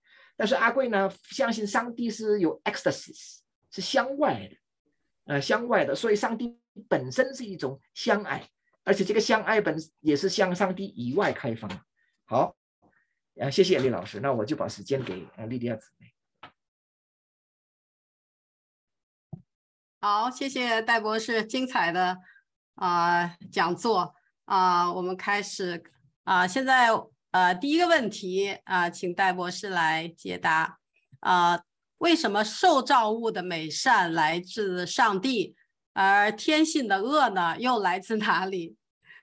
嗯嗯嗯嗯哦，那在阿奎那的思想里面呢，呃，阿奎那有一个概念，有一个概念就是叫做那个呃呃呃。这个我也不是很清楚怎么翻译，呃，那个翻译成中文就是分有啊，分有 participation 啊，用拉丁语那个 participation，所以意思是这样子，每一个存在，上帝以外的存在，啊，上帝以外的存在都分有上帝的美善，都展现出上帝自己的美，一切好的东西，不管在哪里，都是来自上帝，啊，所以上帝是源头。那那阿奎那在这里，向奥古斯丁认为，所谓恶或者邪恶，啊，邪恶是一种缺陷或者是一种缺失。所以，上帝不能够成为恶的源头，因为恶本来呢，恶呃本体上啊就是缺乏本体上的存在。那这个意思是就是就是说，不是说恶就是不实在，不是这个意思。但是恶是一种状态，恶就是那个缺乏美美善或者对美的那种美善的那种缺失的状态。比方说生病，生病就是一种没有健康的状态，嗯，是这个意思。所以。恶的这个所谓存在，就是寄生于善，寄生于善，parasitic，寄生于善。那恶本身是没有自己的，没有自己独立的存在，呃，它是一种缺陷，啊，啊，privation，啊，好，谢谢。好，谢谢。呃，第二个问题，关于三位一体的诠释，请戴老师推荐比较好读的书籍。嗯嗯哦是，那现在呢？呃，现在那个非常有意思的就是，现在如果我们看福音派，那福音派就是新教的那个神学家，呃，最近十年、二十年开始兴起了很多那个所谓的那个阿奎那三一论的复兴。啊，所以我我可以提出那个三个作家啊，三个作家给大家，我在那个聊天室写一下，一个就是 Fred Sanders 啊，Fred Sanders。那 Fred Sanders 写了一本书，，The Triune God，啊啊，这个是比较好懂啊，The Triune God，Fred Sanders 的那个 The Triune God，啊，还有如果我没有忘记了，这个人就就叫 Matthew Barrett，啊啊，好像是这样子啊，那他们这些人都是从阿圭那的那个那个那个那个角度解释，还有一个叫 Adonis Fidu，Adonis Fidu 是是。是这个这个什么呢？Definitions，啊，阿德尼西都是 Gordon Conway 神学院的教授啊啊，那这这这这三本，我觉得呃大家可以可以呃可以买啊，当然也有一些那个很多那个比较有影响力的那个那个三一三一论的著作，不过有一点难，比方说像 Wolfman 的 Trinity and Kingdom 啊，那个 Lana 啊，但是他们呃，我觉得他们跟那个经典的三议论还是有点不一样啊。那如果是要要回到那个经典的啊啊，就是看看这一些呃呃这些著作啊，包括这个有这个东正教影响的呃这个东方教父影响的也有啊，他们也讨论。好，谢谢。啊，对，有弟兄姐妹们问有没有中文版的，您可以推荐一下。嗯。哦，这个。啊，这个我有一点困难，这个这个我不是很清楚，但是呃，我可以呃，这个呃呃，这这个中文版的那个三一论，过去有张学富老师写的啊，浙江大大学张学富老师啊，那个那个他是呃，他是那个呃那个什么呢？呃，这个浙江大学他写那个加巴多加教父。但是如果大家对阿奎那、阿奎那和阿奎那的著作的这个中文比较有兴趣的话啊，我知道在中国呃，在国内好像有几位那个学者，一个叫车轨啊，然后还有另一位叫蒲荣健老师啊啊，大家可以参考他们的著作啊，他们都是都是研究阿奎那的啊，谢谢。好，谢谢戴老师。呃，下面一个问题是。父与子发出圣灵，那么怎么解释起初神的灵运行在水面上这件事情？嗯嗯，好，所以这个三位一体的那个生和发出，所以三位一体有所谓的双重运动，双重运动就是父生子和父和子发出圣灵，这个不是时间的时间上的概念，所以你不能够说。比方说父先生子，然后父生子，然后就发出圣灵，啊，所以这个不不关系，没有关系到时间的顺序，而是从永恒。你可以说这个时间上是同时的，你可以这么说，永恒都是这样子。所以我们不能够说先有父，然后有子，就最后有圣灵，因为他们同时的。不过他们之间的关系呢，有生和发出的关系。好，好，谢谢，谢谢戴老师。呃，下面一个问题是，请问戴老师怎样从刚才所讲的阿奎那的三一神论具体化？推导出某种可以操作的个人灵修生活。嗯嗯，那非常好。呃，这方面其实是阿奎那是有的。阿奎那认为是这样子。呃，领袖生活呢是离不开阿奎那认为上帝创造一切，上帝的创造从上帝出来的是离不开子和灵，所以神的灵运行在水面上，然后神说，所以有神的话和神的灵。呃，天赋的工作。呃天赋的这个工作都是离不开神的话和神的灵，所以万物回到上帝那里去，也是离不开神的话和神的灵，啊，离不开圣子和圣灵。那这样子，呃，那那这样子，阿奎那认为，我们基督徒呢，必须拥有一种智慧，有一种智慧，什么意思呢？智慧什么意思？就是生父差遣他的子和他的灵到我们的信上、心理上，那这个被称为那个什么呢？呃，三一神的。那个那个呃，神性差遣的 definition，所以我们怎么样回到天父那里去呢？通过他的话和通过他的灵，通过他的话和通过他的灵。那通过他的话和通过他的灵的意思，就是通过那个什么呢？那阿奎那说，通过他的话和他的灵在人的心灵的那种工作呢，给我们产生智慧。所谓智慧是。有味道的神的话，所以有味道的知识，这个上帝的话就变成有味道，变成发出爱的，所以这样子就好像只发出圣灵，神的话也是有圣灵的工作，所以关键在于什么呢？在于你的读经怎么样？所以在从通过阿奎那的这种这种解释，那阿奎那很重，阿奎那因为是属于那个。神道会，所以他是很注重那个讲道和学习。那如果我们现在做一个比较实践的推理的话，那这种灵修呢，回到上帝那里的灵修什么呢？结合读经和祷告，让我们用祷告的心呢，接受上帝的话，啊，让我们用爱心领受上帝的话。上帝的话跟上跟那个那个那个祷告呢，分不开，啊。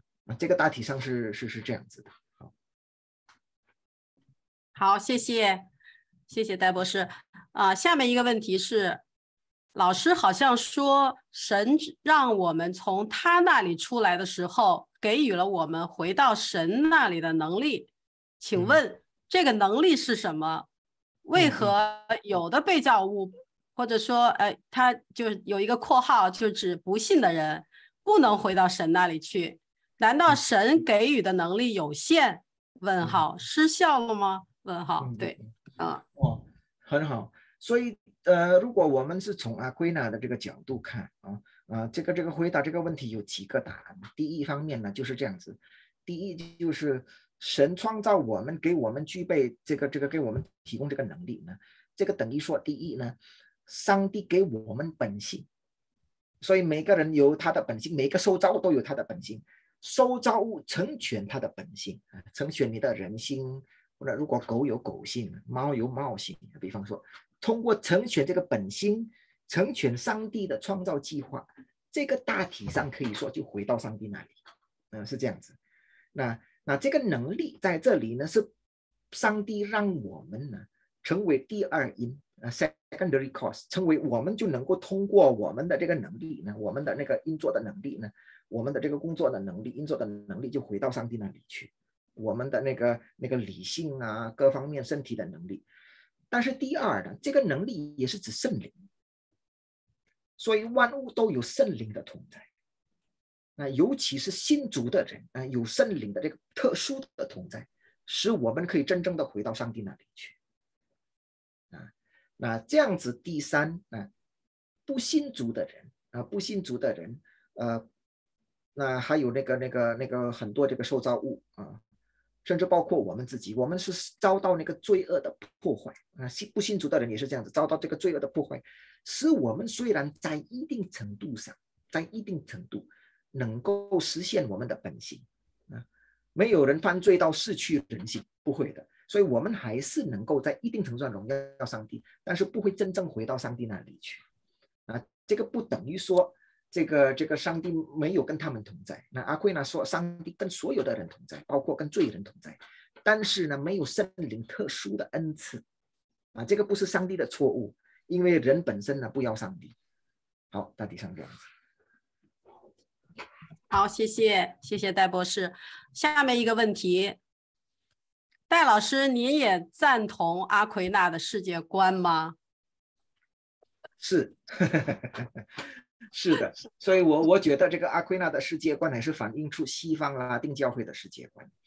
那那呃，这个非常有意思的是什么呢？我本身是来自我是我的宗派是一个比较温和的改革宗，比较温和的归正宗。那改革宗从一开始，从加尔文到加尔文的同时代的那些神学家，对阿奎那还是比较积极的，很积极。到到甚至到十九世纪，到十九世纪到巴文克开波尔，啊，都是很肯定。啊，到了那个二十世纪，出现这些像范泰尔、像这个多尤维尔这些人，啊，才是对阿奎那呢那个有有很消极的啊，这个这个这个看法。但是最近呢，很多那个那个所谓的这个改革宗呢，长老会，呃，这个这个神学家呢，呃，就开始认同。呃，开始认同，所以他他还是觉得那个阿奎那还是大公教会的遗产，阿奎那的思想，而且阿奎那的思想是宗教改革之前，是教会分裂之前的影响啊，这个思想，所以他的世界观呢，还是在一定程度上呢，还是反映出，呃，还是继承那个教父，啊，继承教父，尤其是奥古斯丁的，呃，这个这个这个世界观。好，谢谢。好，谢谢戴博士。下面一个问题。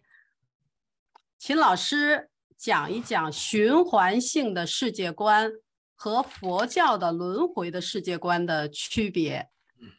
嗯，哦，啊，这个还是有区别，因为呃，当然我不是研究佛教啊，因为这个这个这个什么呢？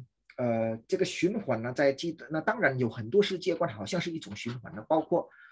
包括这个这个中国的世界观呢，中国那个比方说儒家的世界观呢，道家的世界观还是有一种循环的，还是有一种循环的。这个呃这个，但是但是这种循环呢，在基督教的世界观，这种循环就好像刚才李老师说，这个是这个是超越历史的，这个这个就是关系到这个一切，从上帝那里到上帝，回到上帝，是这样子。那佛教在一定程度上，你可以说佛教是一种无神论，所以佛教不相信有造物主，啊，佛教不相信有一个有位格的上帝，比方说，是这样子。所以呢，呃，他的那种所谓的循环或者轮回呢，就跟基督教当然是不一样，啊，那基督教就是我们这一切是来自上帝，是来自上帝的爱，而且我们就回到上帝那里去。我们就不需要轮回啊，我们就回到上帝那里去。但是佛教里面有一种，好像是非位格性的那种、非个性的那种、那种，呃，那个规律，或者你可以说是因果报应的那种、那种规律啊，这个支配一切啊，那个还是不太一样。谢谢。好，谢谢戴博士。呃，下面一个问题是：出埃及后，但又死在旷野的以色列人，按希伯来书。是不享受安息，包括大祭司亚伦、米利安是否灵魂得救？哦，我觉得这个这个这个灵魂得救的问题啊，这个这个还是靠上帝那里啊，这个看上帝。我觉得这个他们在在世上那个受死不一定他们代表他们不得救啊，不一定代表他们不得救，但是这个还是要啊，这个这个当然这个终极的答案以后等我们回天家的时候才知道啊，谢谢。好，谢谢。呃，下面一个问题是，呃，希望啊戴博士您再解释一下关于圣灵是父和子的相爱。嗯嗯嗯嗯。所以圣灵是一种连接啊，圣灵是一种连接。所以那个就是这个启示是谁一开始提出来的？啊，这个其实有一些教父就开始知道了。然后呢，自从奥古斯丁，那奥古斯丁认为，你看这个这个父这个名称是是是是特殊的，子是特殊的啊，父子是特殊的名称。圣灵为什么第三个位格被称为圣灵？为什么不称为都被称为母呢？没有被称为妹？比方说啊，为什么为为什么为圣灵？因为生是代表父和子都是圣洁的。灵代表复合子的本质本性就是灵的本质，所以圣灵就是代表复合子的共同点、共同处，所以他们就是 fingulum trinitatis 复合子的连接，复合子的连接者啊。那这样子，圣灵就是复合子的这个相爱。所以，如果我们看圣经里面圣灵的工作，总是充满和连接的工作，肉体的工作是带来分裂。但是圣灵的果子，仁爱、爱心、喜乐、慈善、慈这个仁慈这方面呢，都是合一的，带来合一的。啊，那圣灵五旬节降临的时候，许多人啊就合一了，在基督里合一，在基督里现在没有希利尼人、犹太人，没有男的、女的、自由的、奴隶的，圣灵就是这样子合一的力量。但是它又是一个位格，啊，所以这种相爱呢，这个爱不是抽象的，这个爱呢，是因为太。完全了，因为完全了，所以它未格化。嗯，大体上是这样。好，好，谢谢戴博士。下面一个问题是：积极彰显上帝之爱的生活，与安息于上帝之中的生活，与儒家的入世与出世的生活有什么关系吗？哦，这个非常有意思啊。呃，这个有一些共同点。呃，有一些共同点，这个这个基督教跟儒家，但是但是还有也有很大的不一样。基督教跟儒家那个有一些共，儒家呢是反对，尤其是信儒家，他是反对佛家跟道家对虚空的强调，所以所以儒家是反对这一切，所以儒家觉得儒家是很肯定存在的价值，儒家是很肯定生命生生不息啊，所以儒家是也处世入死啊，就是就是有那个。那个一切都要都要要积极参与社会，但是如果你不能够参与呢，也没关系。为什么呢？因为一切都是生生不息的，一切都是循环往复的，啊，所以，呃，这个这个可能是属于那个什么呢？阴，嗯，那我们要等到阳的到来，那所以阴阳的那个不断的循环，啊啊，所以有一定的共同点啊，不过呢，还是不太一样，因为呢，因为对我们来说属。因为儒家啊，呃，儒家尤其是新儒家啊，不是原来的儒家，尤其是新儒家，基本上啊，基本上可以说是一种，也是一种差不多可以说是一种无神论的，无神论的那个那个那个那个那个信仰，所以他们不强调，他们不认为有上帝，有位格的那种上帝，所以呢，我们的这个暗器就是我们是强调位格之间的关系，所以你不管是积极处事。不管你是安息，你都是跟上帝同在，你都是跟上帝有相爱的关系。好，谢谢，谢谢戴博士。呃，下面一个问题是：圣父在永恒里生子并发出圣灵，如果不考虑时间参考系，子和圣灵在永恒中是否存在受生和被发出先后顺序？哦，这个先这个先后的顺序是逻辑上的，呃，逻辑上不是实践上的。为什么是有逻辑上？因为阿奎那是这么说：你不能够爱你不知道的东西，所以先有知识才是有爱。那圣灵是代表爱啊，所以圣灵的发出逻辑上是在于那个什么呢？子的这个手上，因为子就是智慧，子就是天赋的自我认识的表现。自我认识的结果啊，这样子才是有圣灵的那个发出。但是这个是如果从实践上再说，呃，我再说一下，在这个是同词的，但是不是不是逻辑上的这个这个这个这个关系啊？哎，不对不起，是逻辑上的关系，不是实践上的这个这个欠后。好，好，谢谢戴博士。呃，下面一个问题，嗯，人在受苦的时候，上帝有感觉吗？啊，哦，这个是一个一个非常很非常呃这个难解释的一个一个很难解答的啊问题。那呃现在呃我只是告诉大家那个有两种有两种看法。那第一种看法啊大概有三种看法，大概有三种看法。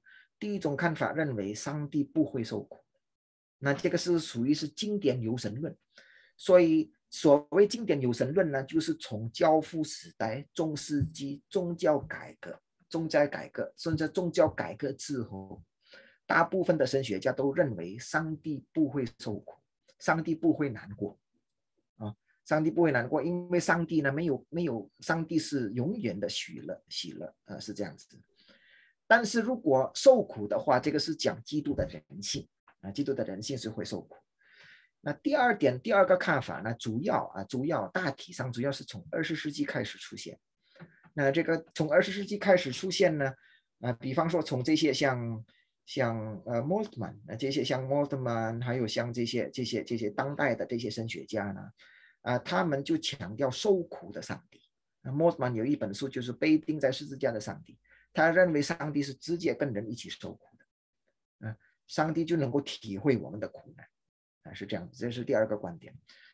第三个观点，那第三个观点比较有意思啊，这个是有一个天主教神学家那个发出来的啊，他们认为上帝的受苦是通过圣子，因为基督神性跟人性呢是同一于同一于圣子这个位格，所以圣子通过基督的他能够感受到基督的苦难，那所以如果圣子也能够体会到基督的呃这个这个人的苦难，那其他的位格。也是也是有间接的体会，大体上是这样子，所以大体上有三种观点。好，好，谢谢戴博士。下面一个问题是，嗯，阿奎那与奥古斯丁的神学思想有什么不同？这个可能比较大，这个问题，你就哦哦，对戴博士可以简单的，嗯，哦，这个呃，阿奎那基本上就是奥古斯丁主义者，所以他在很多方面。他在救恩论，在神论，在很多方面是肯定奥古斯丁，嗯，肯定了奥古斯丁，所以共同点是大于，我个人认为啊，我个人认为共同点是大于他们的区别。那还有一个，但但是还有一个重要的区别，奥古斯丁在哲学上啊是受到柏拉图的影响比较大，那阿奎那是受到亚里士多德的影响比较大，啊是这样子。那在这样的情况下呢？对某一些神学议题的解释，有时候阿奎那是比较接地气。当然，当然，我不是说这个奥古斯丁飘飘然，不是这个意思啊。阿奎呢更强调身体的重要性，阿奎呢更强调这个这个这个这个什么呢？生物的这个那个那那个重要性各方面啊。但是这个这个还是大同小异。好，好，谢谢戴博士。呃，下面一个问题是。圣子耶稣基督是完全的神和完全的人，可是三一神的三个位格是同质、同尊、同荣，这样推理，圣父和圣灵也应当是完全的神和完全的人了。这个问号，我知道这是错误的认识，但是又无法理解。对，对不起，我可以再说，再听一遍，我我刚才不是很清楚。就是圣子耶稣基督是完全的神和完全的人。啊哈。呃，三一神的三个位格是同质、同尊、同荣。照这样推理的话，圣父和圣灵也应当是完全的神和完全的人了吗？这个问号。我知道，对他说我知道这是错误的认识，但是又无法理解，就请。是因为同众同伦只是关系到神性，不是关系到人性。啊，所以基督是有神性跟人性。啊，圣子圣子不是基督。圣子是有神性跟人性，所以同尊同仁是只是关系到神性。好，啊，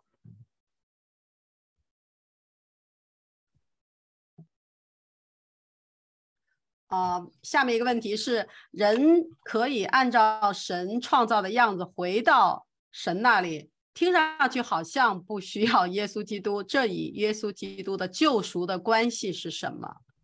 哦。这个刚才我刚才解释的时候，我说那个耶稣基督，所以所以回到上帝那里就不可能没有耶稣基督，肯定是需要需要耶稣基督。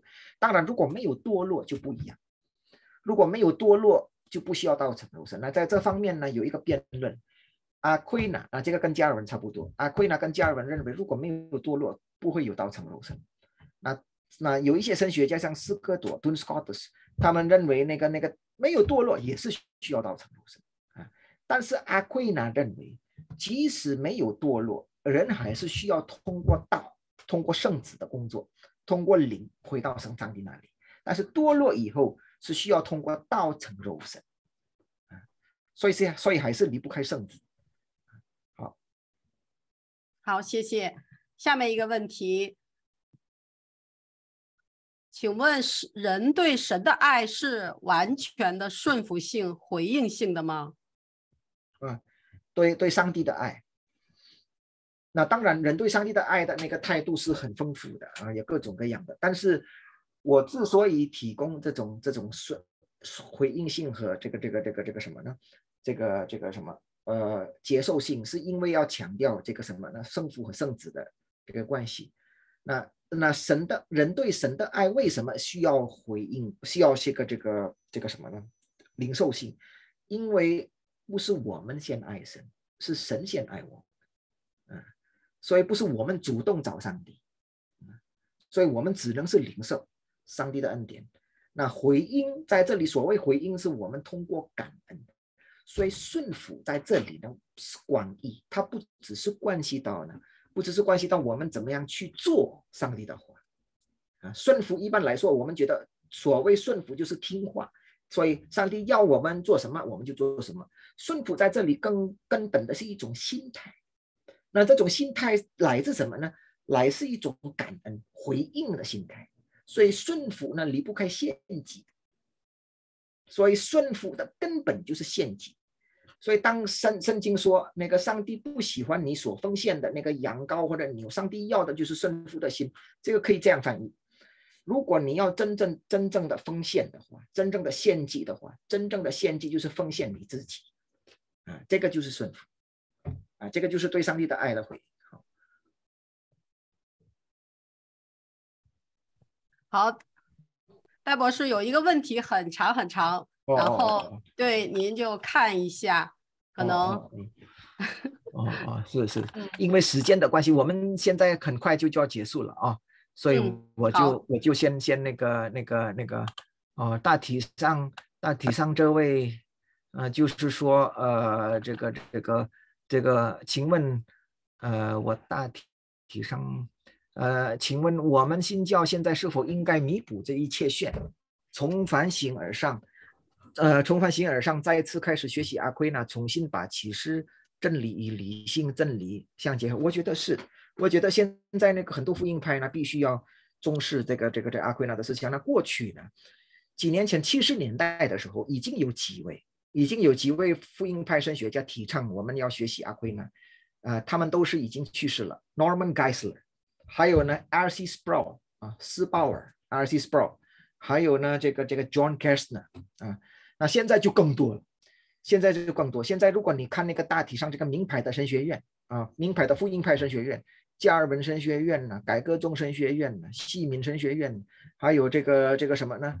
呃，这个戈登关门神学院。